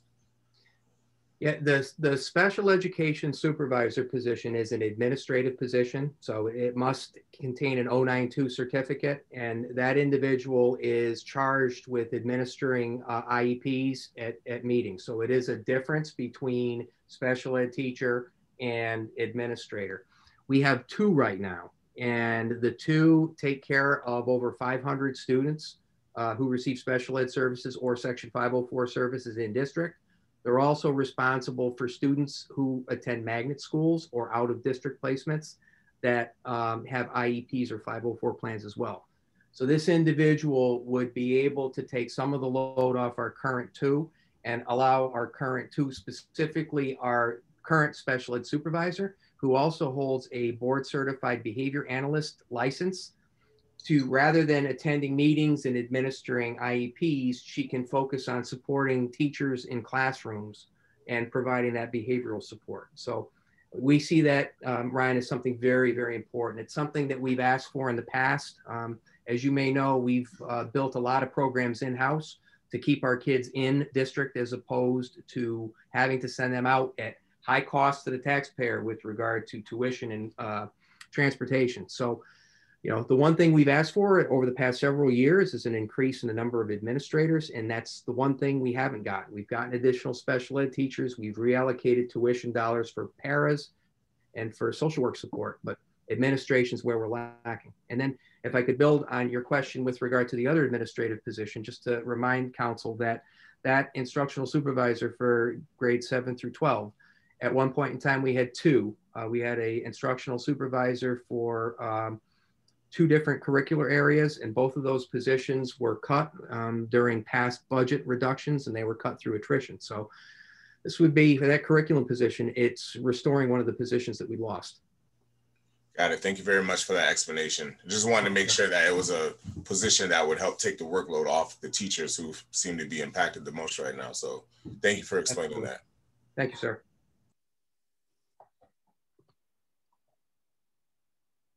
Councillor Hill.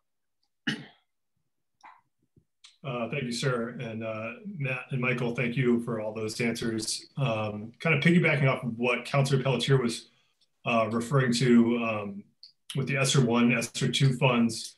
Um, so we kind of understand now, obviously, with the actions last night, that money is, is kind of is allocated and it's obviously going to very worthy causes. Um, you know, switching gears over to the kind of the ARP funds, you know, we are in a position now where as a council, we have about you know, two, two, weeks or so to craft and, and vote on, on, a budget for next year. Um, and just your, this is more of an opinion, I suppose, is that, you know, should I, I assume that we shouldn't even consider because you guys you guys don't have guidelines or any parameters from the federal government on how you can even spend these dollars. So as a council, who, you know, we're obviously interested in where the money is going and we have to make sure that we're not duplicating payments and we want to make sure this is, you know, this is taxpayer money, make sure it's all going in the proper space. Um, how should we approach that? Just almost, should we even acknowledge it at all in, in this, uh, the next two weeks as we deliberate this?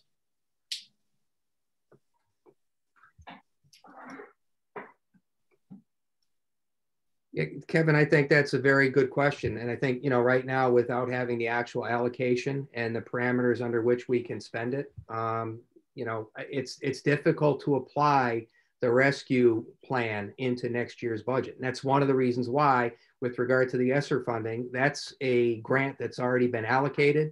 Uh, we completed our needs assessment, submitted that to the state along with the grant application um, that one is pretty well set in terms of you know what we're looking to get out of it.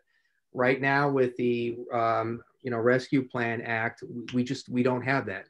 We're taking it from a perspective of as as Matthew had talked about earlier with that cliff, being able to extend the services and the supports that we're requesting within the ESSER funds out over the course of time, so that we do not have that cliff where we're trying to either come to the council to say, hey, we need more money to support these positions, be able to, you know, gather up our data, ensure that they're effective, and then be able to phase them out down the road. So um, again, I, I want to be clear with you all. You know, we want to work collaboratively with you, um, but from our perspective, we're looking at it from, you know, allocating this funding to make sure we're supporting classroom uh, students and, and teachers first and foremost. But again, as the flexibility allows, we'll certainly, uh, we'll be at the table with you. No, I appreciate that. It's um, obviously with the amount of money that the board and the town is getting, it's, it's, it's a staggering amount. And, uh, you know, we want to make sure that we're using it wisely. It's just the timing is extremely unfortunate and very frustrating as we're, we're coming, you know, you know, the, the nine members of the council, there's nothing more that we'd like to do is to, you know, uh, show some, uh, show taxpayers in the town that we're obviously using it very wisely. But without parameters, we're, we're kind of flying blind right now. Um, and switching gears quickly, I'm sorry, I'll be brief, is um, regarding this year's budget, uh, uh, Mr. Gazaka was kind enough to kind of mention regarding the, the contractual obligations you do have for this year that are baked into your increase, um, which actually, the, Matt, if you could just quickly talk again quickly about how the contractual obligations are actually higher than what you what the proposed increase is. Is that correct? You had to re reduce in other um, in other parts of your budget to get to that number.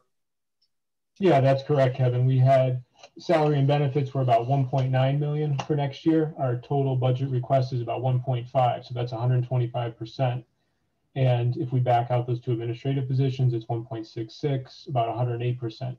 And I mentioned we were fortunate that when we did our budget projection in December into January, we were anticipating uh, fewer costs related to special education, tuition, and transportation. So we had a reduction of about $300,000 to offset those contractual obligations and increases.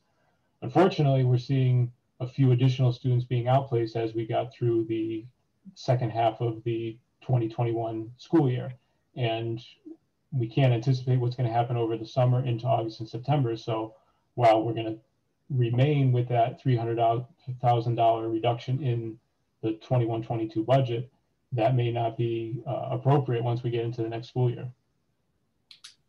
So I'll, I'll, I'll steal some of the deputy mayor's thunder here and I'll ask the, the, the devil's advocate question of that. If we asked you to come in at a zero, um, you know, that's, you know, one point, you know, basically cut, ask you to cut 1.66 from your operating budget, what does that look like? Yeah, we have not gone through those scenarios, but I would have to say that it's devastating. There's only so much we can reduce with discretionary spending related to supplies and technology, licenses and softwares. With one and a half million dollars, you will get into staff. Yeah, understood. And then obviously, and then at that point, it really kind of makes the any supplemental funds you get from the state or the federal government kind of moot. Right. It would it would negate a lot of the programs we're attempting to institute, especially when it relates to student SEL. Got it. And how? Um, and this is my last question. I apologize. Is the uh, minimum, minimum budget requirement, how does that, uh, I mean, how does that work in terms of all you have all these different pay sources now coming in uh, between the municipal, the state, and the federal government? Um, how does that all marry together in order to give you that that number for the MBR? That's a good question. We have not received any guidance on how to factor in ESSER one, ESSER two, any of the other funding into the MBR calculation. My understanding is that it still applies for the 2021 year. Beyond that, I don't know what the what the details will be. Okay. I appreciate it. Thank you for your time. Um, Matt, could you expand on that a little bit with the uh, MBR? So you're saying that the ESSER funds that you've already used or planning on using in this year add to the MBR number. Is that correct? No, I, I don't believe that's the case. But like I said, I haven't heard any guidance if that is going to be a factor beyond the 2021 fiscal year. Okay. Nothing's come from the state level at this point. Okay, thank you. Uh, I'd just like to kind of along the same lines as uh, Councillor Hill. And it's just disheartening that you know, we're we're getting this $7.6 million worth of money coming into the town, 5 million of which is for schools, for education. And we can't do anything to utilize those funds to reduce the impact on the on the residents, you know, due to this pandemic. And I thought that was like the basic intent of the funds was to help people when we've been beaten down over the last year. People are out of work and all kinds of situations going on with uh, food issues and you know daycare issues, all kinds of things. And uh, I'm just thinking that you know there's enough smart people on this meeting tonight that we could figure out a way to utilize some of those funds to to reduce our uh, tax burden on residents. Not not getting a good feeling. So know if anybody has any comments about that. I have a comment about that. I I you know, I I think we can do things. I think that, you know, with all due respect, I think that, you know, it seems like you'd rather spend the money on these other programs. Of course, you would rather use the millions of dollars to find, you know, these new exciting programs that, you know, you want to focus on empathy and equity and achievement. And I mean, I think we all agree that, you know, kids go to school to learn and they've really taken a hit this year because the school's only been open, you know, in a hybrid model. So the math scores have gone down. And now you have to fix the problem that was created by keeping the schools, you know, half closed by, you know, hiring the math, the math experts, who I actually think of all the, of all the, you know, proposed ways to spend the money, that's probably makes the most sense and will have the biggest impact. Uh, um, but I think that the money can be spent to um, on things that are included in your operating budget. So to say, you know, well, what if we, you know, reduced it? Oh, well, then we'd have to just start laying off staff. Well, I already read you the catch-all provision in the ESSER 2 guidelines. It says that the ESSER 2 money can be used to maintain the operation and continuity of services and to continue to employ existing staff.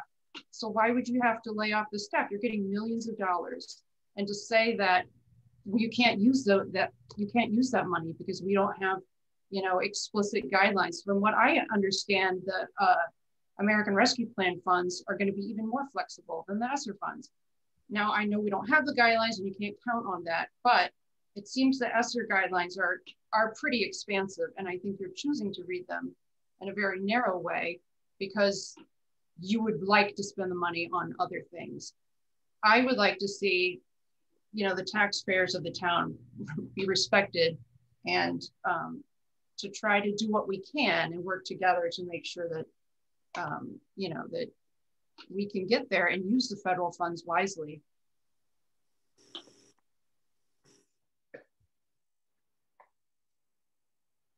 Anybody else have a comment? Councillor Forrest. Thanks, Deputy. Um, the the response you gave related to the MBR was we don't know, but we we do know what the rules are for MBR, and I don't think the law has changed. So maybe there's some guidance or some assumptions that you need that need to be made as far as how something is allocated. But if you could get back to us about what you anticipate or what counsel, maybe your legal counsel anticipates as the use and the calculations for MBR, um, that would be extremely helpful. I'm, I'm not, uh, I'm not exactly satisfied with like, we don't know. We have to, we have to know because we have to set a responsible budget. Um, so is it possible for you to get us the best guidance that you have as far as it relation to MBR? whether even if you have to, you know, use a lawyer to figure it out or other or other. Yeah, that would Yeah, come we'll from the state. Take care of that. Yep. I mean, right, but we know, I mean, we know what MBR is. We've been using this for, you know, years and years and years. So um, if you don't, if you can get guidance, the guidance either from the state or the best guess at what the guidance will be and let us know, that would be extremely helpful. So we craft a legal budget, I guess you might say. That's a, is that doable, uh, Mr. Emmett? It is, sir. All right, great. Thanks. Appreciate that. Anyone else want to speak? I'm not missing anybody. Um, I'd like to thank uh, Mr. Emmett and Matt Kazaka and the rest of the Board of Ed members for coming out tonight and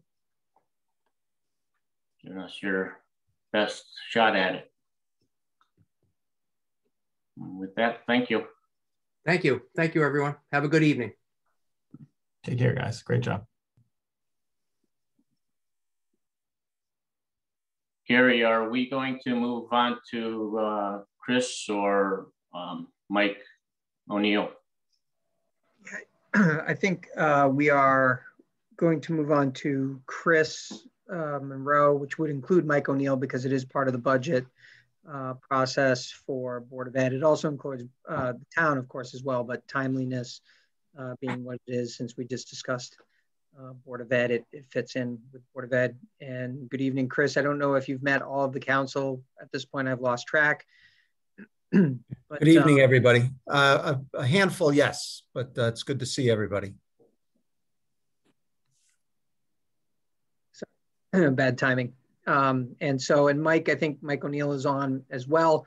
Um, by just kind of a quick background, is, and I'll let Chris or Mike even um, uh, include more, but um, as part of cost saving initiatives. Um, and I think they probably started two years ago when we first started shopping for uh, seeing what we could do in terms of insurance and saving some of our costs related to health care or health insurance. Um, Chris Monroe at USI had done, done some very painstaking work to see where there could be cost savings, compared uh, multiple uh, vendors. Um, and then at the time, we came up with a prescription savings program, uh, Express Scripts uh, Savings Opportunity, um, that did not work in the way we had hoped uh, when all was said and done. Um, there were a number of issues with the existing vendor. Um, so Chris and Mike, uh, not uh, standing for um, missing an opportunity to find creative ways to save money, created their newest went off on their newest adventure and then i'll stop talking and let you guys correct everything that i said that was incorrect and uh, fill in the details. Um, again i uh, i want to thank everybody for giving me an opportunity to present um, to pick up on uh, gary's comments. Um, this project if you will uh, goes back to january of 2020 and at that point in time, our focus was to explore the viability of what is called a pharmacy carve out. And what that would entail uh, would be essentially taking our pharmacy, uh, the pharmacy component of our plan, and pulling it from Blue Cross and looking to partner direct with what is called a PBM. And a PBM is a pharmacy benefit manager, who in essence is the back room, if you will, when it comes to uh, a carrier based pharmacy program. So there is a, a, uh, lot of savings that could potentially emerge from that type of an approach. And we did um, begin that exercise in 2020. And we're lined up pretty well to move towards a direct relationship with Express Scripts. Um, at the last minute, um, Anthem had invoked uh, some criteria uh, that prevented us from pursuing the carve out. Um, what we decided to do as January rolled into the summer, rolled into the fall, rolled into early 2021 um, was to do a full marketing of our plan, um, where we would pick up where we left off on the pharmacy side. But what we'd also do is a full marketing on the medical component of the plan as well. Um, through that exercise, we pulled in uh, bids from uh, traditional carriers like Cigna and ConnectiCare, Aetna, United Healthcare, and obviously uh, our incumbent Blue Cross. Um, we also, on the pharmacy side, looked at what is called the big three, if you will, which would be bids from CVS Caremark, Express Scripts, and Optum RX. Um, that exercise yielded a recommendation from myself that we pursue the following two initiatives. Um, we end our medical administrative relationship with Blue Cross and appoint Cigna as our new vendor for July 1st.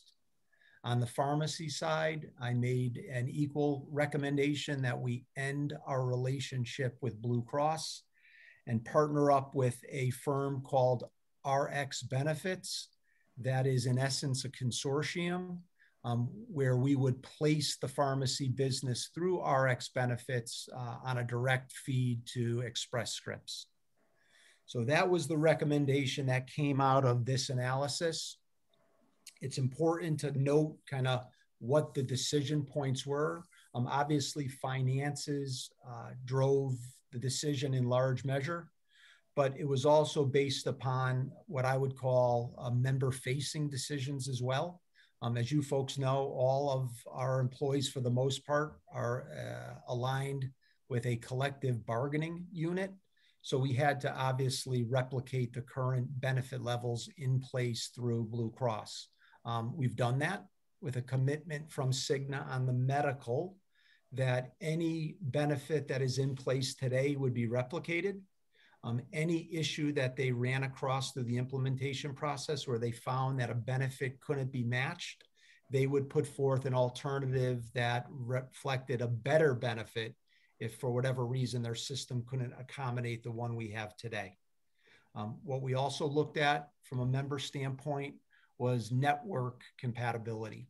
Um, Cigna would not work if it resulted in our employees having access to a provider panel that was diminished over what we had today. Um, in order to validate the Cigna network, um, we secured some information that spoke to the number of providers that our people were seeing through Blue Cross. And essentially, Cigna was able to come to the table with a 97% network match. So that is not disruptive. So we felt we were able to clear that hurdle. Um, we felt, based upon some commitments from a customer service standpoint, that uh, we had in Cigna a better entity moving forward than what we have in Blue Cross. And on the pharmacy side, we did the same thing. We made sure that formulary to formulary, there was no disruption. We made sure from a repricing standpoint, we were yielding uh, the savings that we expected to get. Uh, pharmacy was a little bit easier, folks, because we had just done this exercise last year. Um, so cumulative, cumulatively, we felt we had checked all the boxes needed to make a recommendation to move forward. Um, we've started to engage our unions through a number of town hall meetings to bring them into the loop. And we're actually at a point now where we're just trying to do those final dot the I's, cross the T, um, put it in front of you folks for your uh, vetting. And then if we're successful there, then the hope is to be able to move forward with a July 1 implementation. Um, I have some exhibits that I'd like to show, but before I get into the exhibits, I know I've talked a lot. Um, let me open it up to the floor for questions you might have for me based upon what I've touched upon.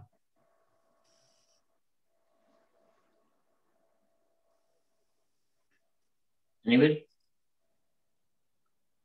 I just have one, uh, Chris, just more a curiosity factor. Um, how big is the pharmaceutical component to the entire policy? Is it significant? Yeah, so we, you know, our, our claim yield is around $10 million a year, nine to 10 million. Um, pharmacy's about two and a half million of that. So Tom, you're looking at, you know, that 23 to 27% yeah. range.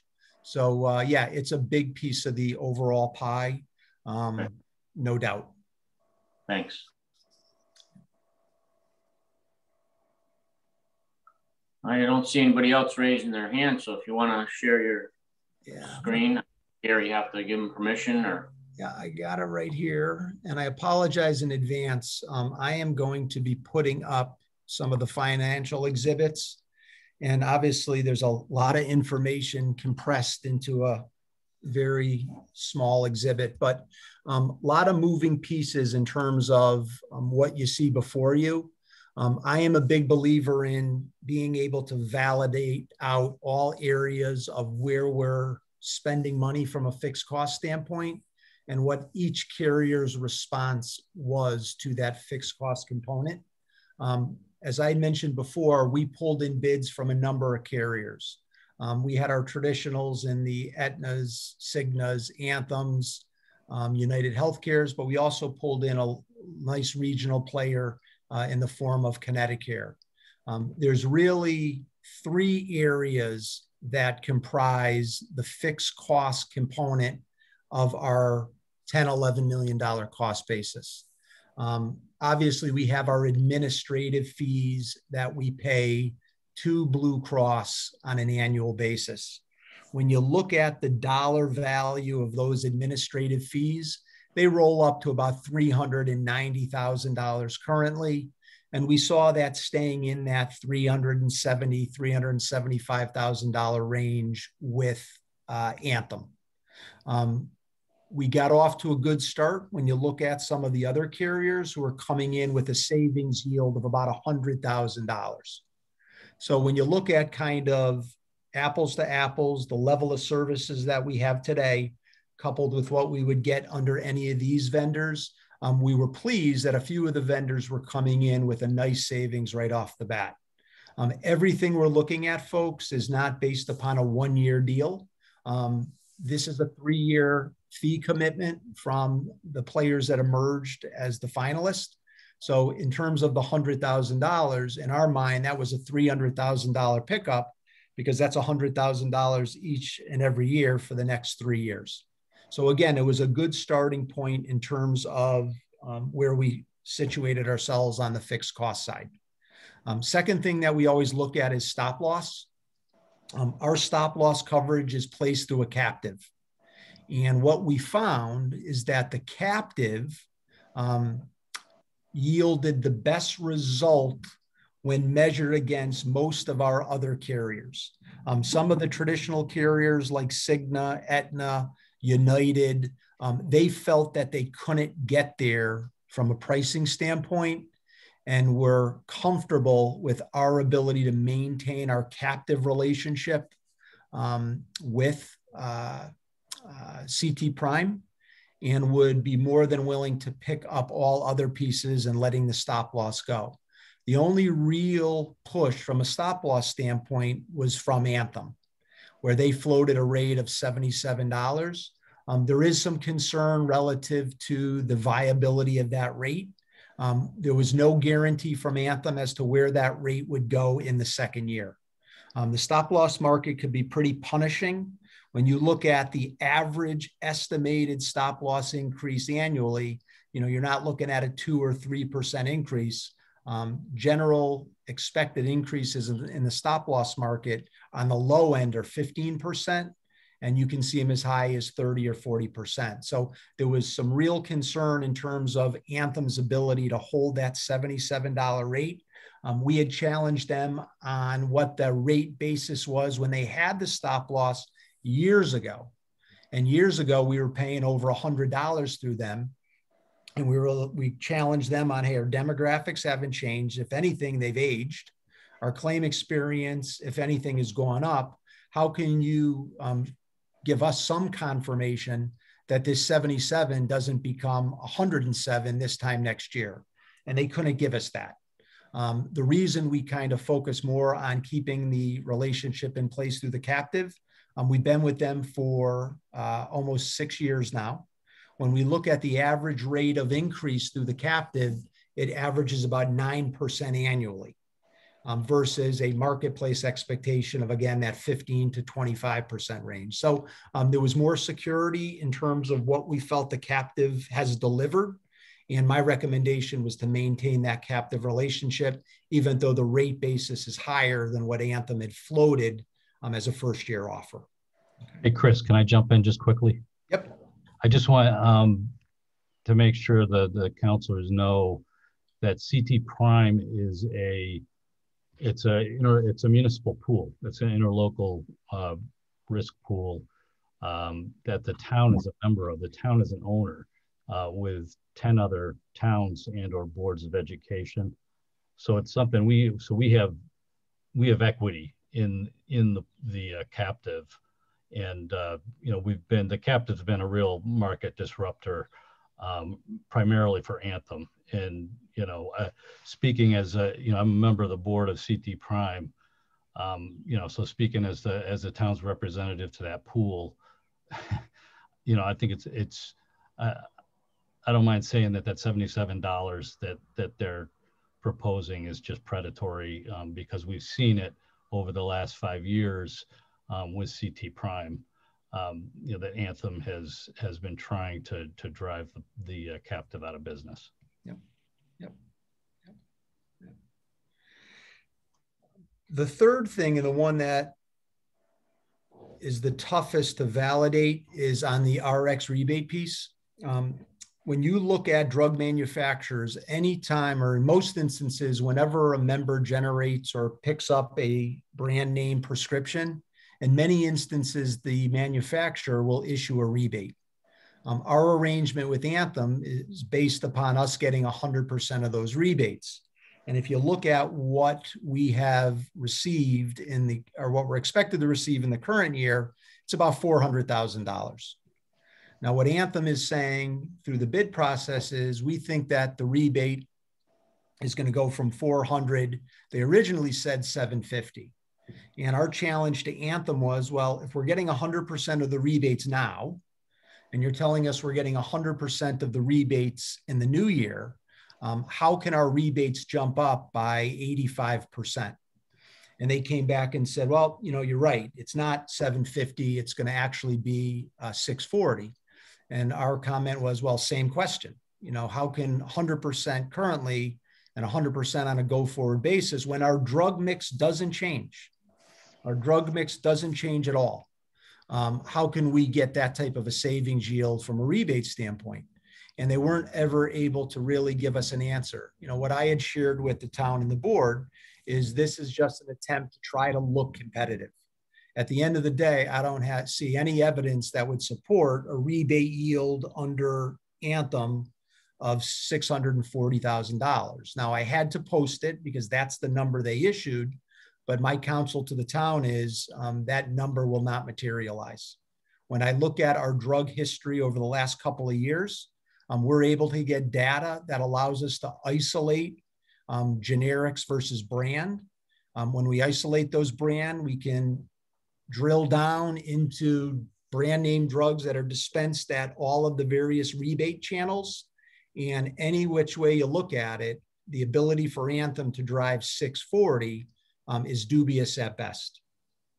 Um, we feel through the partnership with Express Scripts that the rebate yield will be 781. That's based upon 100% of the rebate.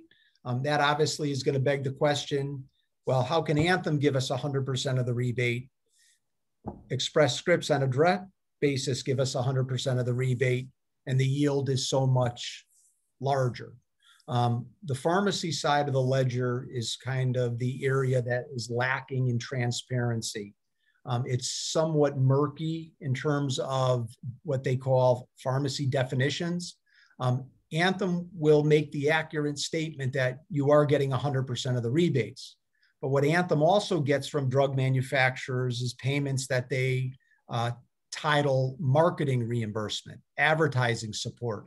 Folks, that's a rebate. Um, they don't call it a rebate. And by not calling it a rebate, they don't have to share it with us. When you look at our arrangement with Express Scripts, we have a more Wethersfield friendly definition of what's a rebate. And you also have fewer exclusions when it comes to what's considered a non-rebatable drug. So the ability to kind of validate that 71, 781 was based enti- entirely on our own experience and the ability to look at that experience, look at the definitions, and have more of an analytical support behind where the 781 comes from. So that allowed us to look at Express Scripts as we did last year as a more viable player relative to what we have through Anthem. What's not on this exhibit is we also had Express Scripts reprice the 22,000 claims, that 2.5, 2.7 million dollar spend, and we essentially had them run it through their pricing model. We had it them apply their guaranteed AWP discounts, and the evidence supported around $110,000 savings yield on the claim side, which is not in this forecast. So the combination of more transparency, more user-friendly definitions of rebates, fewer exclusions on what's considered a rebatable drug, um, the combination of, of those things yielded the big increase in rebate share. And obviously on the client claim side, additional savings uh, from a newer AWP model than what we have today. So when you take all of these components, folks, and you roll it on up, you have a first year savings from Anthem on an exclusive basis. But again, it's dubious. That 385,000 is driven by, in my estimation, 200,000 in rebate savings that won't materialize. Um, you have the others that represent hard and true savings. Okay. Um, a couple other things before I open the floor up to questions. Um, last year, it would have been difficult to leave Anthem. Um, no carrier is going to let you leave without paying, in essence, what's called an exit fee. Um, when we end a relationship with a carrier and you move on to another, um, claims that were incurred prior to that termination are still going to be submitted for processing. Um, so if we were to leave Anthem on July 1, member claims incurred prior will still be submitted in August, September, October, November for processing. The old exit fee structure that we had with Anthem resulted in us having to pay um, 20% of all runouts, and that's a claim that comes in after the fact. Runouts generally tie to um, about one month's worth of claims. And our claim yield monthly is around 800, 900,000. So we were looking at an exit fee last year of about 160 to 180,000 um, because of the uh, work that we did on the pharmacy side, because of Anthem being an obstructionist. I guess the one good thing that came out of that last year is we were able to renegotiate the exit fee down to kind of more of a flat dollar amount. So we'll still pay that $50,000 to get out from under that ar- arrangement, but it's certainly much better than what we would have paid had we exited years ago. That $50,000, folks, is baked in as a line item cost. So we are capturing all the moving pieces when it comes to um, what are we paying today? What will we pay under these new arrangements? And even in what we pay under the new arrangements, are we making sure we quantify all of our costs, even our exit fee under Anthem? Um, so I think you know we're there as far as what we captured on on, on a total fixed cost basis. Um, let me let you absorb the uh, document and then share with me any questions that you have.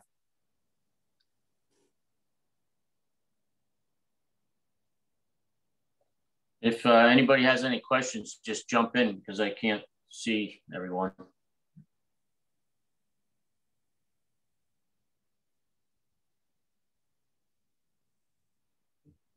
Um, because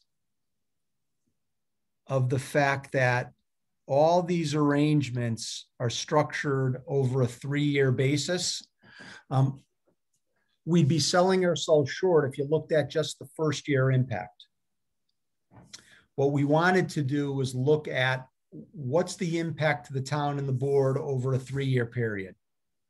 And in modeling that out, we looked at all right, what would we pay if we stayed with Anthem? And then what, what would we pay if we went to the recommended vendors in Cigna and Express Scripts? And what we wanted to do was look at the low, moderate, and a high estimate. And from a low cost estimate, we were looking at around $460,000 in fixed cost savings. This does not include that additional hundred, hundred and ten thousand dollar savings on the claim side under the pharmacy due to the repricing. We kind of added that in in our moderate estimate. And you can see how the 450 jumps up to 780. What we then did on the high estimate is say to ourselves, okay, you know, I don't think those Anthem rebates are going to materialize. Let's make an adjustment for that. The goal of this is just to test the assumptions, to look at best case, worst case, high end case. And I think all the evidence kind of more tilts towards the moderate to the high estimate. So my counsel to the town was okay, we have a vendor who we've struggled with customer service wise over the last year. We've got a vendor who is very much an obstructionist who stood in our way when it came to driving savings last year on the pharmacy side. And we've got a marketing effort this year that is going to drive what we think over three years will be more in that 750 to 850 $900,000 range. All right. Um, so this is what kind of really led me to say this is a very viable option from a financial standpoint. When you throw in some of the other work that we're doing relative to the member facing issues, it becomes added security that we have two very viable players uh, in Cigna on the medical and Express Scripts on the pharmacy side. Um, last comment I'd make on this, folks. This doesn't mean we are done in our Anthem relationship. We're still going to maintain a relationship with Anthem uh, in two manners. Um, Anthem still will be the dental carrier for all town and board employees. Um, Anthem will still be the provider for our over 65 retirees. Um, that's a group of about 180 people. Um, they have Medicare as their primary payer, and Anthem serves as the secondary payer. Um, we just felt it was too much of an effort to uh, pull them along with what's going on with the active employees. We felt we were better served to migrate the actives and then look next year at the viability of migrating the retirees. If the evidence suggests that that's a viable option, we'll pursue it. If the evidence suggests no, then we'll continue to keep that under the Anthem umbrella. Does Anthem maintain the same pricing structure for that much smaller pool of retirees? They they would. They would. They would. Um, it's self-insured, Tom. So you know when you look at the three components of that over 65 plan, um, one component is based upon us paying a conventional rate, and that rate's filed with the state, and they couldn't change it even if they wanted to. That's the other self-insured. Right, what's that? It's it's fully insured. Fully insured. Fully insured. The other, the only self-insured component is on the major med piece, and that's kind of claim flow. Um, so there's not a whole lot they can do there. Yeah. So we don't expose ourselves to, hey, we saved uh, on one end, and then we just saw you know an, uh, an appreciation in price on the other. Right, a little retaliation type thing. well, you know what it is, and again, it's been a rough ride, you know, um, and you know, as I said to them, this is this is not an emotional decision. This is a two-year exercise where we're looking at what's in the best interest for the town and the board, and you know, you, you've got a competitive process where it wasn't just one carrier that offered some value you know, you had a couple of carriers. Although Cigna's the winner, um, you had some things that were bubbling up from Aetna that were compelling. So you had a couple of carriers that um, validated, uh, you know, their own pricing position and and, and made Aetna or Anthem uh, look obviously uncompetitive from a fixed cost standpoint. Uh, Chris, do you do you feel that convincing all the various unions to go along with this is going to be a struggle or have you done this before? Yeah it's it's not an easy lift tom. Um, let me share with share with you what we did and let me share with you where we are. Um, the spreadsheet that you're looking at we distributed it to the unions. Um, we wanted them to be able to kind of test the assumptions and kind of flex you know the the numbers to make sure that they could see how A gets to B gets to C. Um, so we shared the numbers with them.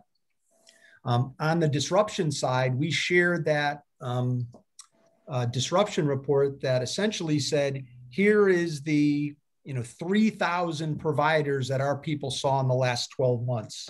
Here's provider name, address, specialty, number of members seen, dollars paid.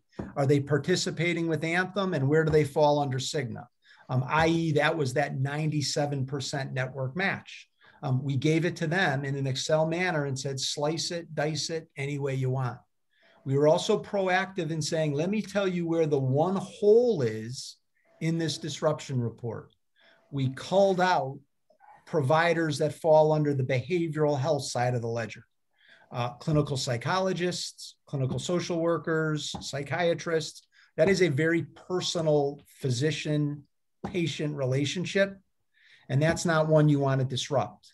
Um, we found that there were 20 or 25 providers that were part of the uh, Anthem network that were not part of the Cigna network. Cigna came in and said, we will treat these 25, even though they're not in our network, as if they are in our network.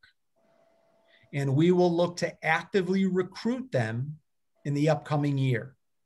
And we'll reassess at the end of the year. And if we found that we've made inroads, great. If we found that we haven't, then we are more than willing to let the town and the board decide if we want to continue that transition of care where we continue to uh, cover them as in network. And that it was a wise and smart thing to ask, and it was a wise and smart thing for them to adhere. We shared that with the union, and we said, there's a hole. We don't want these 25 people to be out of network, and here's what Cigna has agreed to do. So, from that standpoint, we were very transparent. Same thing on the formulary side. Um, our members generated 22,000 scripts in 2020. Uh, we had Express Scripts highlight here's the drugs that are under the Anthem formulary, here's the drugs that are under ours, and here's the drugs that fall out. 98% of all drugs that members are filling today, they're going to be able to fill under Express Scripts. No disruption. We gave them that file. We also got a letter from Cigna that said in building the benefits, we will duplicate benefits. And in those areas where we can't, we will offer a better standard. We got it on letterhead from Cigna addressed to Mike, and we got it on letterhead uh, addressed to Trent Donahue on the Board of Ed side. We gave all of that to the unions. We had four town hall webinars where we invited in all of the union reps and shared with them what's going on. So that was then, this is now. Um, we are working with them to try to bring everybody in and say, folks, we're doing this. We feel compelled that as long as we get buy off at the upper echelons, we're doing it. We're sharing with, you know, and I'll, I'll you know, the teachers, the side by side that shows this is what you have under Anthem, this is what you have under Cigna. I'm scheduled to be part of the weekly uh, meeting between the WTA and HR tomorrow at four to kind of go through some of the concerns that the union has. So, are we there? No, no.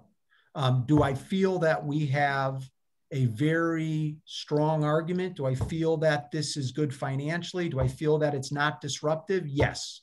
Um, but until they buy off um, anything, everything is up in the air. Um, we're trying. We're doing the same thing on the town side, most notably for the police to get them what they're looking for. Um, you know, this dog will hunt. It is a great proposal. Um, I hope the union see it for what it is and uh, and agree to come aboard. I think if I can just kind of piggyback on that and, and um, thank you, Chris. You did touch on it with the police department. They are, I think, memory serves, the only union that actually has it built into their contract that they have to um, that it's subject to collective bargaining, which basically means we have to negotiate with them. We have a plan related to that, but um, we have to go through the, the process to talk to them and um, see what their thoughts are and concerns. So this is not, um, you know, just just to be clear, we still have to have that process and that conversation. But they have been informed. Chris did a great job, I think, presenting to them. They had a number of questions. They do have a consultant on board um, that is reviewing some of the numbers, and so we'll kind of await those discussions. And, and let me leave um, speak to two comments.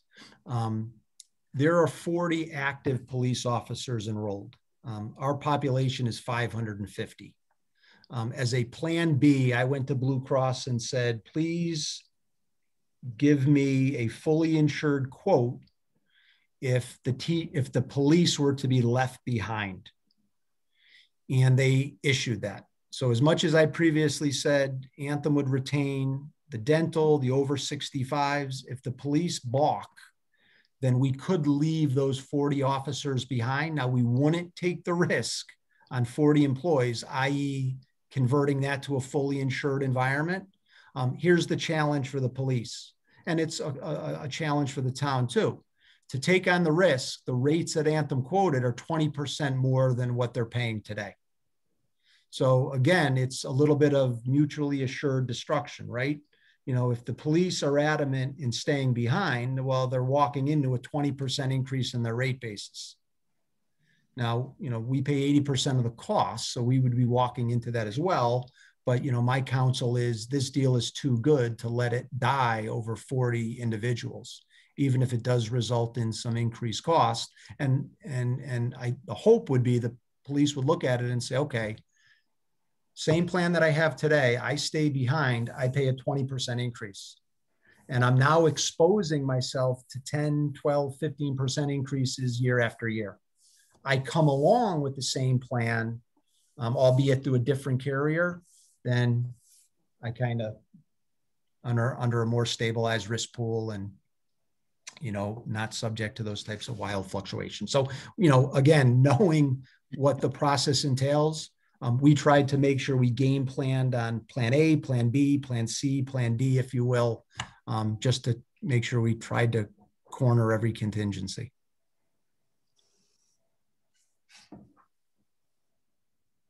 Thanks for that, Chris. That was a lot of helpful information.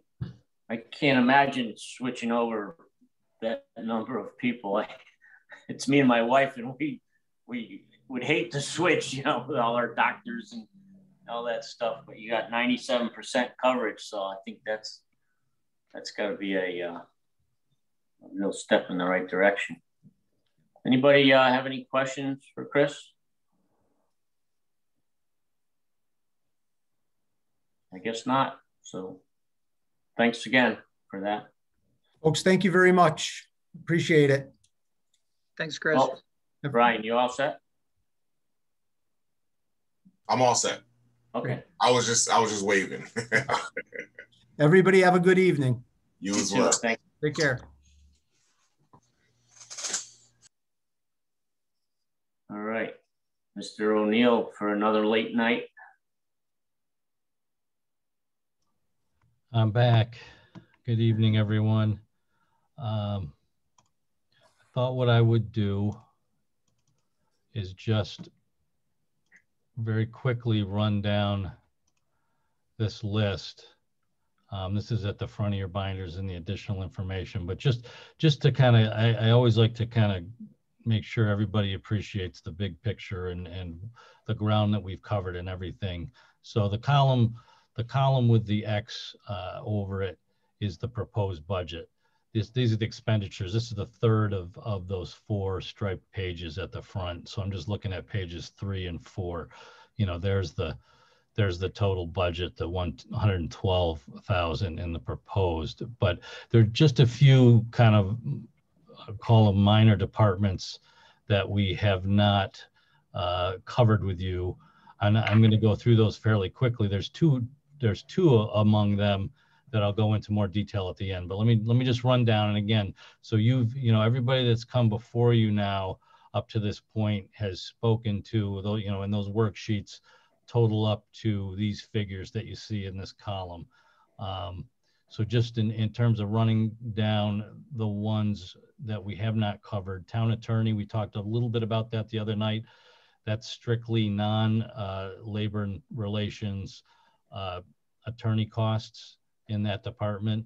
Um, and I think you remember seeing the, the actual costs running ahead of, you know, that $100,000 uh, traditional number that we always budget. So I, you know, we, we just bumped that up a little bit this year, um, you know, because it, it, just to make it a little more realistic.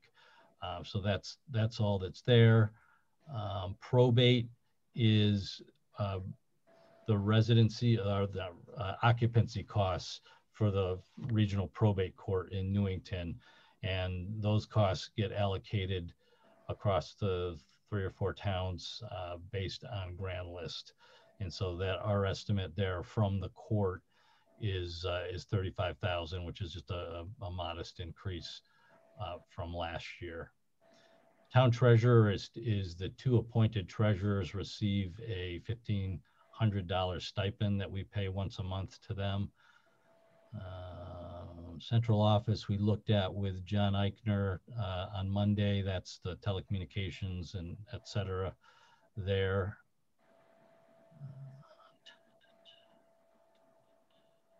Emergency medical services is uh, that $12,000 is the $1,000 stipends paid to qualifying um, volunteers from the from the Wethersfield Volunteer Ambulance Association. So it's the it's the thousand dollar stipend plus you know the fringes FICA, Medicare for those. Um, and again, we we contact the association.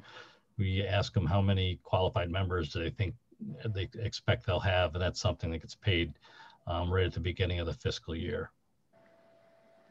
Central Connecticut Health District, that's, uh, that's the town share of the health district.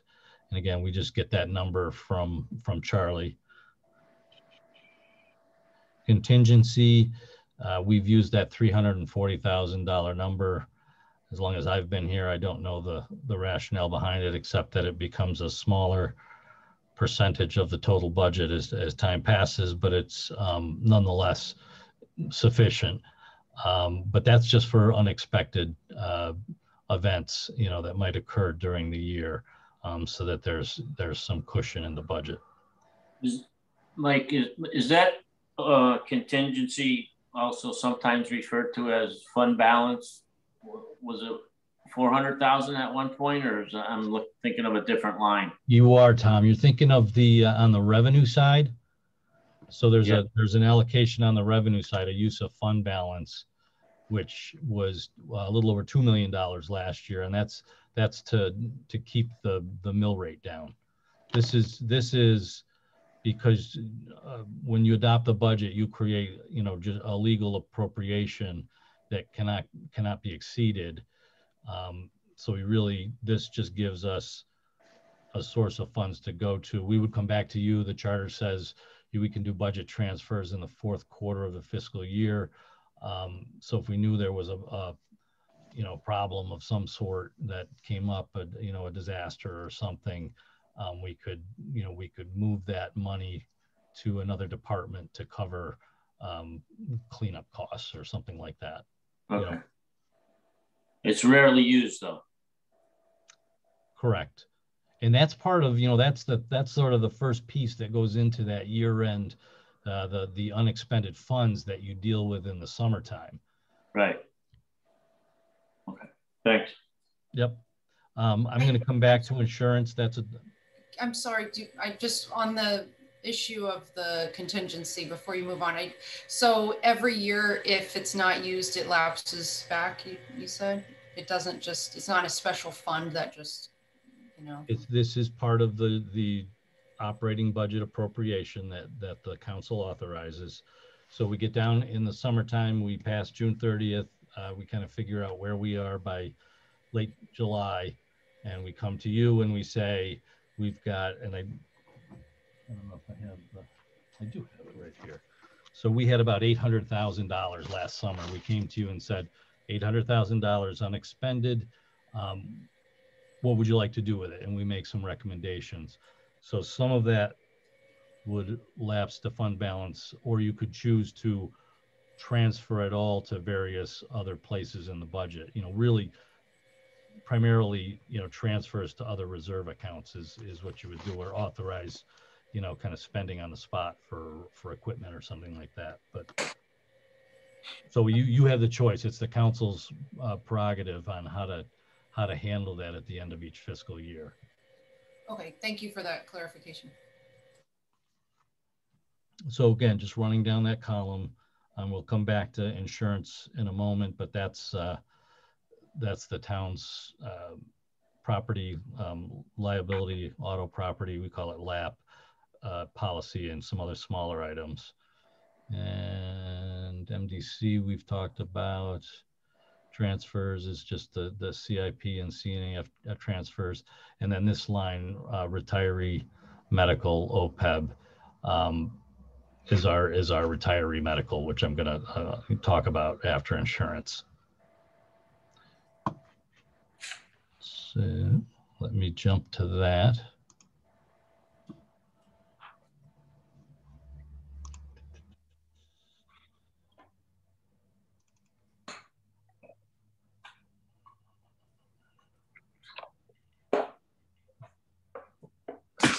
Can't see my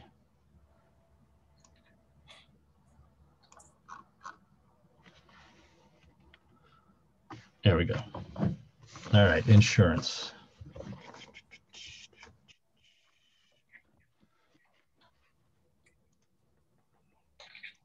So the largest, uh, this department, the total is 696,000, 3% increase. Um, largest items here is the liability auto uh, property uh, insurance policy, which is split on two lines. It's right here, the 179 and oh, that's weird. It's the just panicked for a moment. It's it's in this total. For some reason, it's not. It should be in this cell. It's this amount. Uh, but thankfully, these two totals are the same.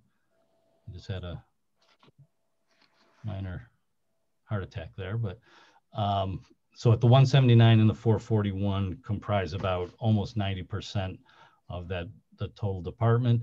Um, this increase is about one and a half percent over what was adopted last year. Uh, our policy is with CIRMA. That's another um, interlocal risk pool.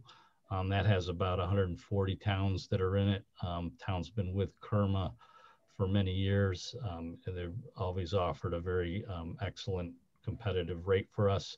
We are in uh, in the midst, in the middle of a three-year uh, rate stabilization agreement um, with CIRMA for the LAP policy, which caps our increases at 3% annually. Um, our initial indication, we don't have a final rate for next year, but our initial indication from CIRMA is a 3% increase. Um, so why do we only have a 1% increase? Because uh, that covers us. We, we had a little bit extra budgeted last year, the actual rate increase was not as high as we had had estimated last year. I think we used 3% last year. It was a little bit less than that. So so we're starting from a point that it just allows us to, to go up one and a half percent that covers the 3% increase that CIRMA is um, is estimating for us. Um, the other items in here is our broker fee, uh, 32,500. That's uh, we're in the third year of our uh, a three-year agreement with USI. Uh, uh, Chris Chris Wardrop, one of uh, Chris Monroe's colleagues, is our he is our broker um, and our consultant, you know, on all insurance matters. So that's the that's the fee for his company. Have a little extra money in here for additional property um, that we might add during the year. Um, we get, you know, the, the rate gets, the premium gets adjusted for that. Um, we do have a new item, which is a cybersecurity policy.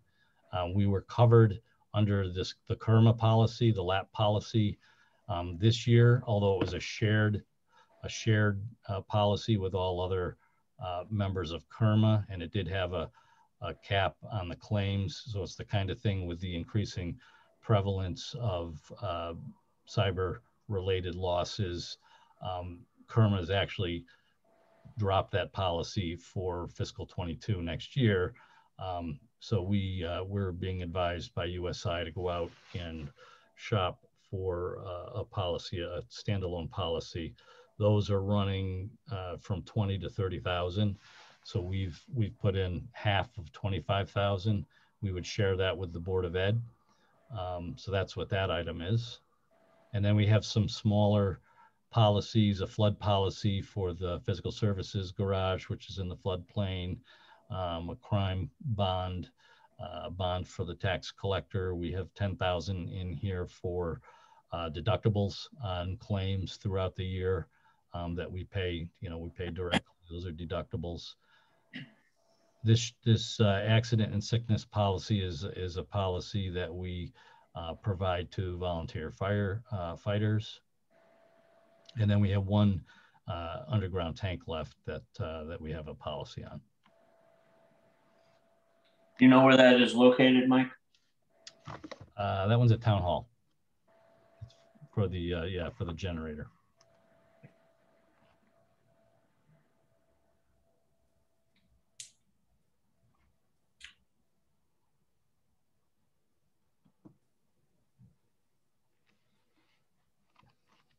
If there are no questions, I'll go to the retiree medical.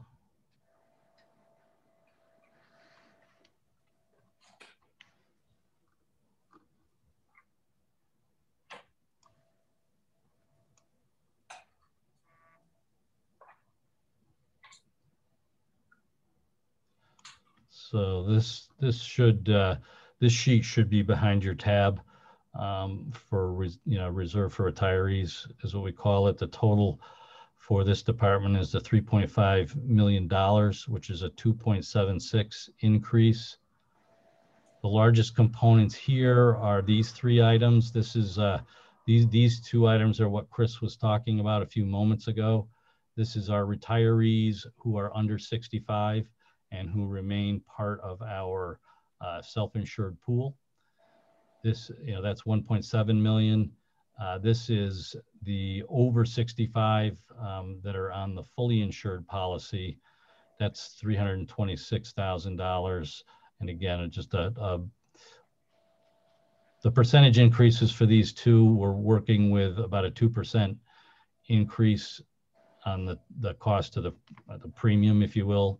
Um, but the the the the changes really are driven by the movement of employees into this group you know typically when they retire and then when they age to 65 into the into the over 65 group so so the real change that you see here the 112 and the 19,000 is a function of that 2% increase that we're we're estimating um, plus any movement of individuals in and out of these groups.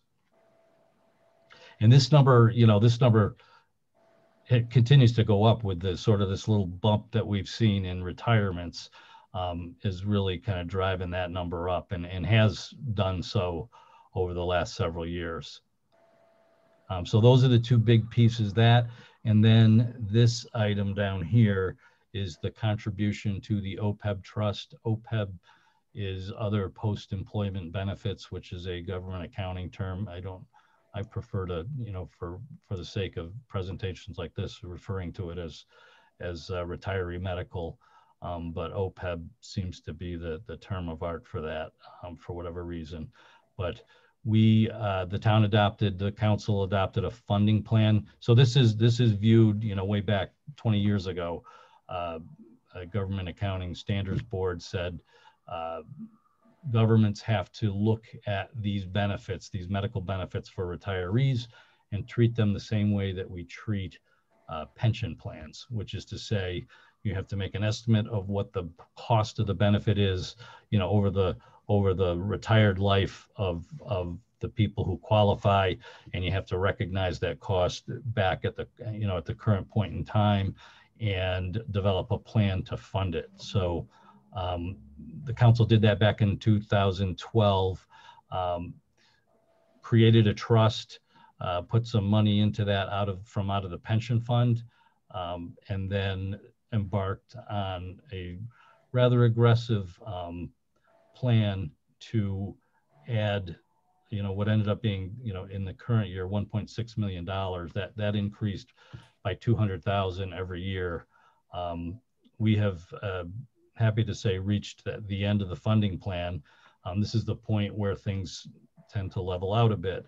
And so there's no increase in this item. There's a zero dollar increase here uh, for this year. Um, it's the 1.6 million which we share. That's the town share, and the board also um, pays the balance of that. Um, so that's that's something that's that should level out, and we'll begin to look at that since we're no longer on the funding plan. We'll start to look at the valuations, which we do every other year, much like we do a pension valuation, and then we'll rely on um, the recommended contribution from the valuation. So what basically the, the idea is we we had to sort of play catch up by making this, this extra contribution and get ourselves up to the point um, where we were at the contribution amount um, from the valuation. And so we'll have, um, we only do this valuation every other year.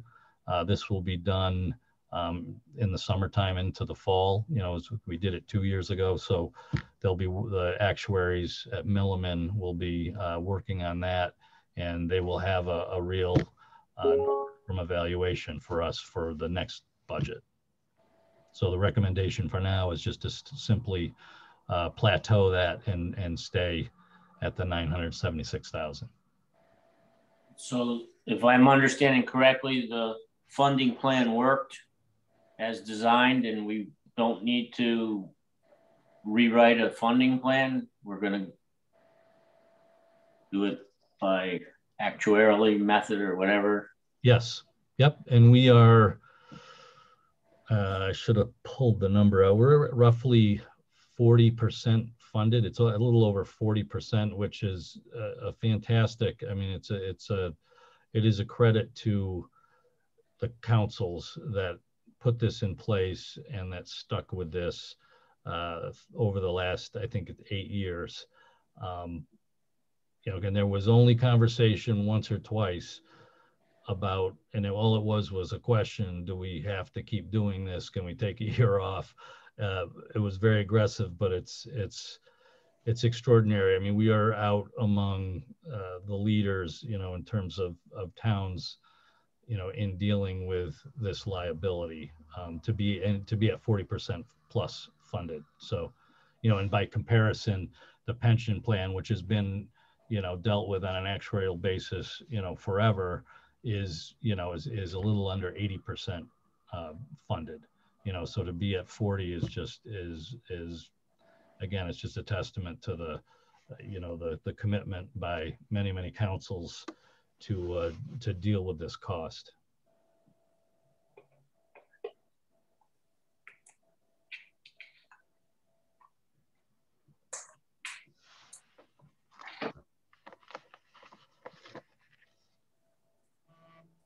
Anyone has any questions, jump right in. Um, I, I just have a quick question. I the um the OPEB trust fund is invested and I, I can't find it right now, but I, I know you had provided something showing in one of either the budget book or you know the binder about um, how well the investments have performed over the last fiscal year. And um, I recall it doing very well. And I, so I was going to ask, but then you made the comments about how no one ever asked this, and that's good. So then I wasn't sure I should, but I was just going to ask, regardless of how well the fund performs, um, you know, the amount that we are putting into it should is, is sort of set by actuaries, so it shouldn't be adjusted, um, you know, because maybe the performance of the investments was exceeded, you know, yeah. as her expectations. That is always taken into consideration. Um, every every every new valuation takes that into consideration. So if we have a great uh, a great year in the market, it reduces uh, what we have to put in, right? Because it's because there's more in the trust. Now, the actuaries, you know, they smooth that out. They do something called asset smoothing. So they take uh, they take those gains over five years. So any given year, we're dealing with 20% of the increase from the preceding, each of the preceding five years, if you will, but it's, it's just a, they, they average it out over 20, over five years. So um, just to keep, again, it, the idea is to keep the whole thing stable and to allow the town to, uh, to fund it and to continue to make contributions in a very predict and have the, have the trust act in a very predictable manner. Okay, yeah, that makes sense. Thank you.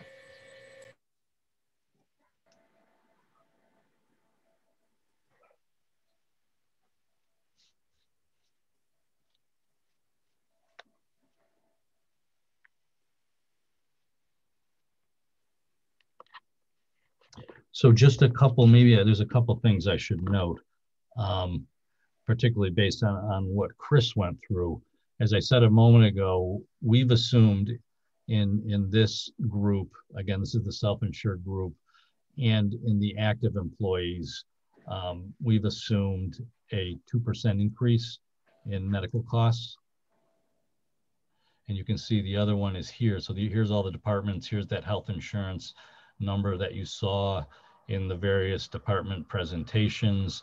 And you can see down here, uh, and again, so we used a 2% increase and then uh, it's just adjusted for, uh, you know, people, you know, we budget uh, vacancies at family and maybe a vacancy was filled and this year it's it's not a it's not at a family level it's at a single or a double level something like that um, but regardless we've we've budgeted the at 2%. And we would bring that down if the council decides to approve the, the move to Cigna. You know, we would obviously adjust that here and adjust it at the board as well. I'm pretty sure that uh, Matt used 2% as well um, when he did that, when he did his budget. And then the other thing was he has, um, Can you see switch that? Did that switch for you? One other on that same line. What's the timing of that?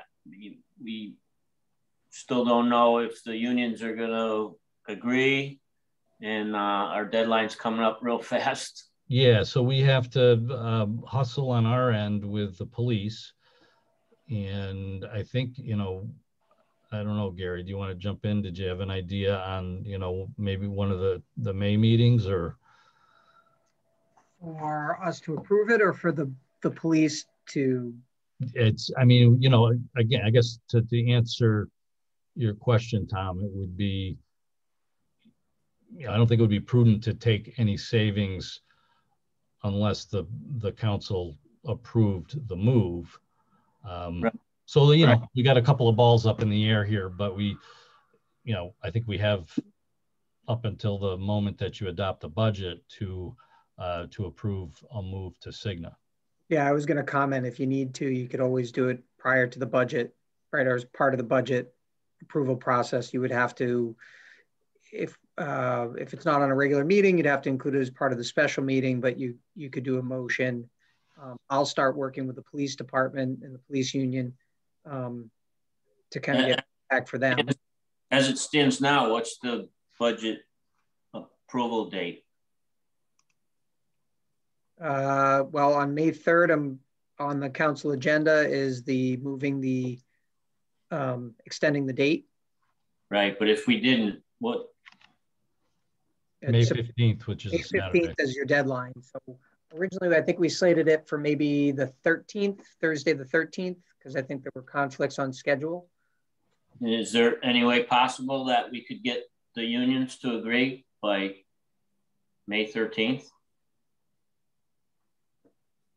Can only yeah. ask. The thing is, um, you mean and, and and try to pass the budget the same? Are you concerned about passing it the same day, or just want to know in, in as far as advance as well, possible? Just seems like we don't have much time at all, even if we extend our date.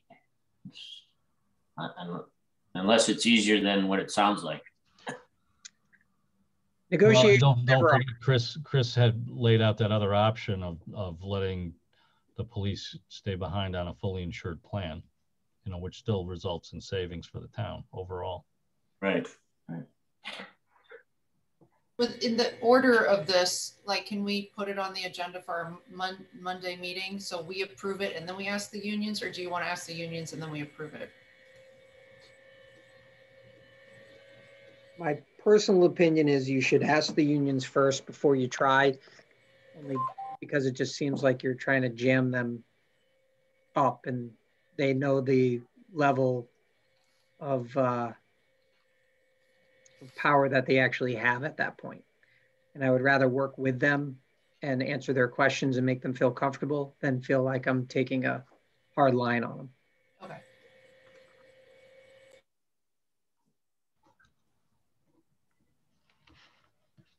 But that doesn't mean I can't get to them. I mean, probably not by May 3rd at this point, but I might be able to have something by May 17th, which is the second council meeting, depending upon what they're what they're asking for. Okay. I mean, I think we should definitely try and pursue this. So as soon as we can, that'll be good. Thanks, Mike. Sorry to interrupt. No problem. I think that's all I've got for tonight. Questions for Mr. O'Neill? Anybody? So we're working on a couple of things uh, off the top of my head. Um, 10-year history of CIP projects that were approved by the council, um, projection of just know, the number, Mike. Yeah, just the number number of C of amount CIP approved. Oh, we got we got everything for you. We got all. Okay, I mean, you don't even. It was, the whole list. I'm trying to be very narrow and. No, I know you are. Be thoughtful. We're, we're, it wasn't. It wasn't much of a of, of a bother, to be honest. You know, we okay. pulled it together. Um, the uh, our projection for this year that for the operating budget fiscal year that we're in um, through the end of the year, you know, we're we're pretty close on that and uh, some pension information. We got, we're going to have a little bit of, uh, a little bit of relief there, not, not much, but about, uh, it looks like about $20,000, you know, the, the number, we got the preliminary number earlier today and it's about $20,000 less. And I think about 60,000 less on the board side.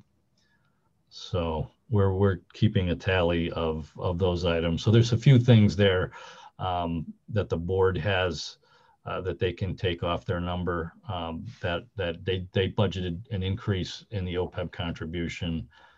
I think that was about seventy eight thousand, um, and then a. Uh, uh, their half of the, the cyber policy they did not budget, so they would have to add that back, and then a, a small reduction for the uh, the pension contribution too.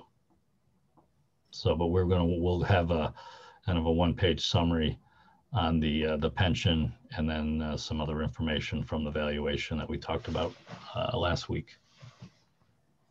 Would you expect to have that before our next uh, deliberation meeting or? Yeah, I'll have I'll have it before the end of the week. Okay, great. I also just had a question or maybe it's something, I don't know if you could answer now or for next time. Um, the tax collection rate estimate, it looks like it's set at 98.95 and I couldn't remember what we ended up setting it at last year. But um, I was wondering if that's the amount that we anticipate we would collect in the current fiscal year or that we will collect overall because I assume every year there's some um, you know, extra the delinquent tax revenue coming in, you know. Yep. So, um, so we use the same estimate that we used last year in the adopted budget, which I think it was last year, maybe the year before that we nudged that up a little bit. Um, last year. Kind of, we kind of looked at the historical and I think we were at 98.65 and we went up to, what are we at 99, 98.95 now. Yes. Um, so we did that. So so what we've done in this proposed budget is the same as same as what was adopted last year, um, and that collection rate is just the taxes on the current year levy that are collected in the fiscal year. And we and except that we also count um, under accounting principles. Um, there's a magic 60 day grace period after year end, which we can use to include, you know, so anything from that current levy that we collect through August counts for the fiscal year that ends in June. Um, but right, so it doesn't, so there's some piece that's not collected, and then we factor that into all the delinquencies for all tax levy years um, that are uncollected going into the new fiscal year that we're budgeting, right? So there's some amount uh, that we think, you know, it's going to change a little bit between now and, and June 30th, um, but we kind of know where where we're going to be with that number for all those past years, um, and then we try to figure out how much of that we think we'll collect in the next fiscal year, and that's a separate that's separate from the the current levy. So just to just to put that up there. So if you go back here, so that's the that's the current levy, um, and that is 98.95% of what we think the levy will be based on the grand list. That's what we budget. And then for all the prior years, you know, our, our estimate is 600,000 um, that we would collect during that fiscal year.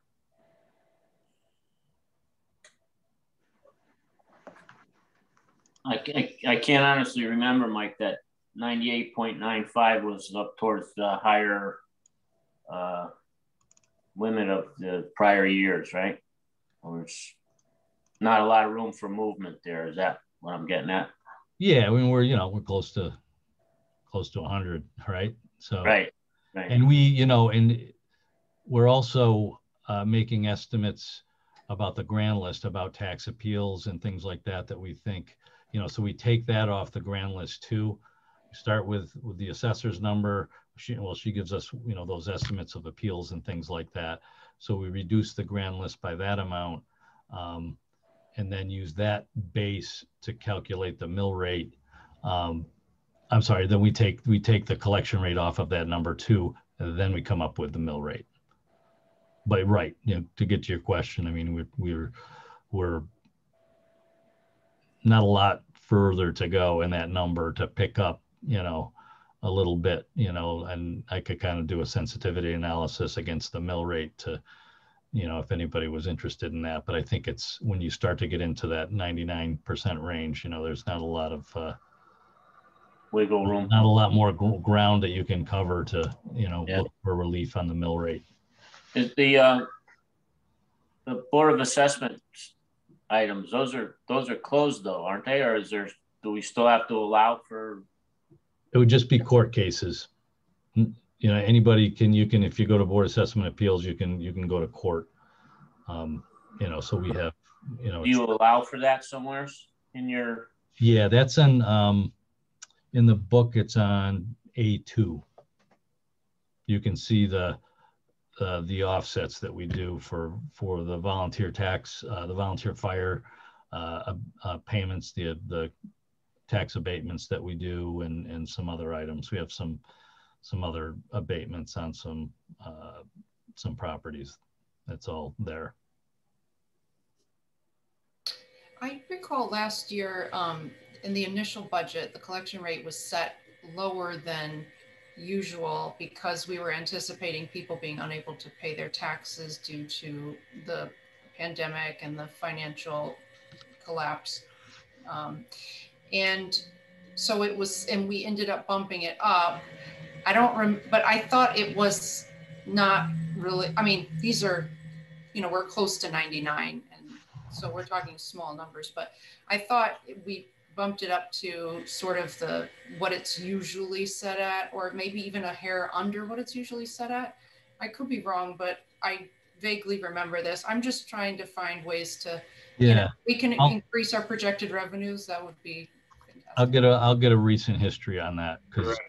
I know we had the discussion because uh, we were at this point last year trying to figure out um, which of those two options, right, for the pandemic on tax relief, was it going to be the lowered interest rate or the, uh, you know, deferral of the due date, you know, by three months? And we did some cash flow analysis, and we, you're right, we did uh, you know, we did some scenarios on the collection rate too, but my memory is we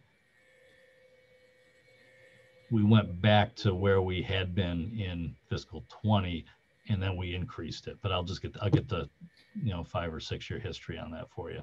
Okay. I, I think the I, I want to I think Mary I think the dollar amount was like three hundred thousand. I think is was the adjustment in terms of dollars and cents from what I remember.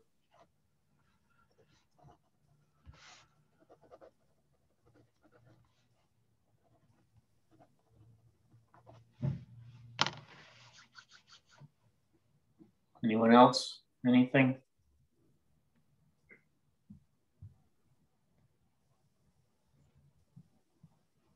That's it. Gary, do we have anything else that we need to cover tonight? Or? Got it all. Uh, one other thing, hold on. The dates in the budget book for deliberations, I think were originally well, there, there's a question of May 5th and May 10th. And then at one point or another, I had May 6th as a potential date. And I guess what I want to throw out to the group is the idea of it probably makes sense to have it as May 5th and May 10th. This way, if there's any questions asked on the 5th, it would give Mike O'Neill, myself, and any other department heads opportunity to have it prepared and completed by the 10th versus trying to do something on May 5th and May 6th. So I'm kind of throwing it out there to the group. If there's any concerns with May 10th, May 5th and May 10th. Mike, those were the dates, right, that we were. Yeah. What day? I don't have a calendar. Uh, Monday, May, I'm sorry, Wednesday, May 5th and Monday, May 10th.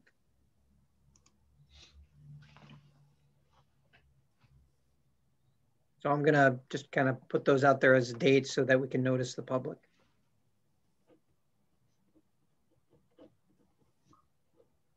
that's pretty much all I have. And can we put it the fifth and the sixth and then cancel it at the last minute, or you're not allowed to do that?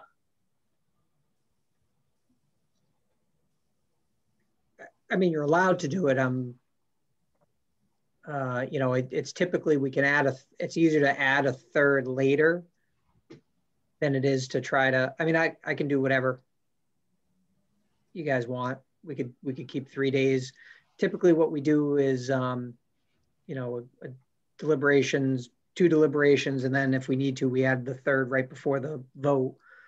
Um, because we might be voting on the third to extend it, I guess right.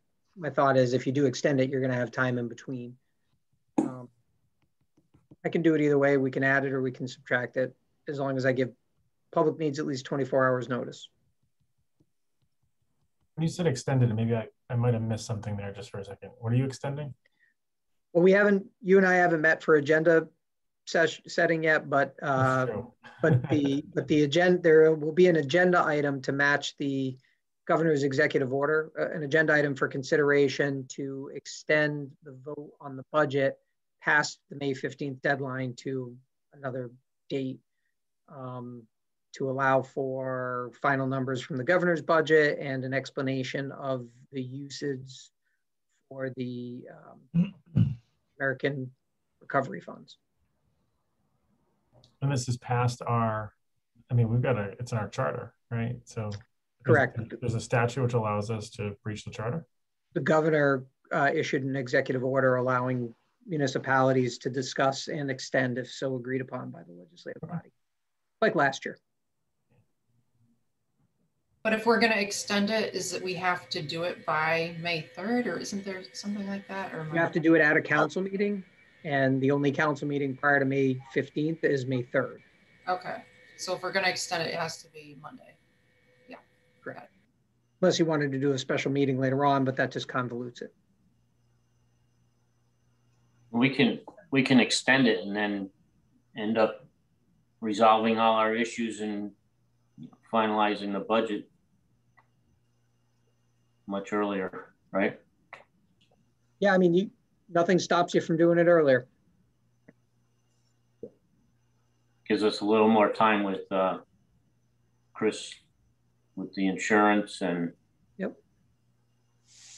A couple other items that are up in the air.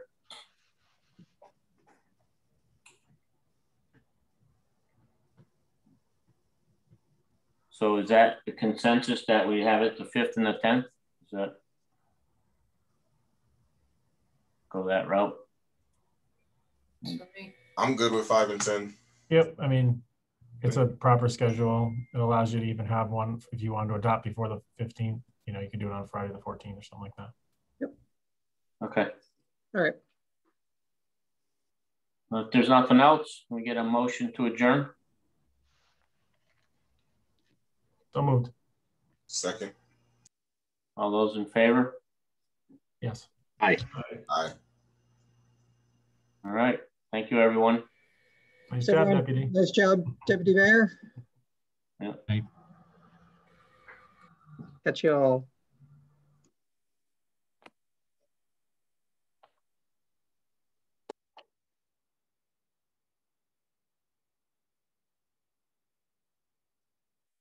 See you, Matt. Always a good time. Always a good time. You should go home. Are you leaving soon? Uh, I've got, sorry, I'm just this. I've got, uh, you know what? I think I'm going home. I was gonna respond to a couple emails. I'm just beat. I'm done. It's been a long freaking week. Apparently there's something wrong with my camera. All right, you go home too. It's nine o'clock. I am. Um, I'm gonna go grab the car and I'll, maybe I'll be driving by you. You go up to Wolcott Hill, you go to South State Highway.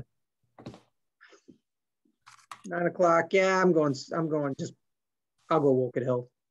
All right, maybe I won't see you then. I thought I saw you on the last meeting though, when I was pulling around. I'm like, oh, there's someone pulling out. I thought it If the, if the package stores were still open, I would probably, oh, we're still recording. Great. We'll see you later. I'll see you.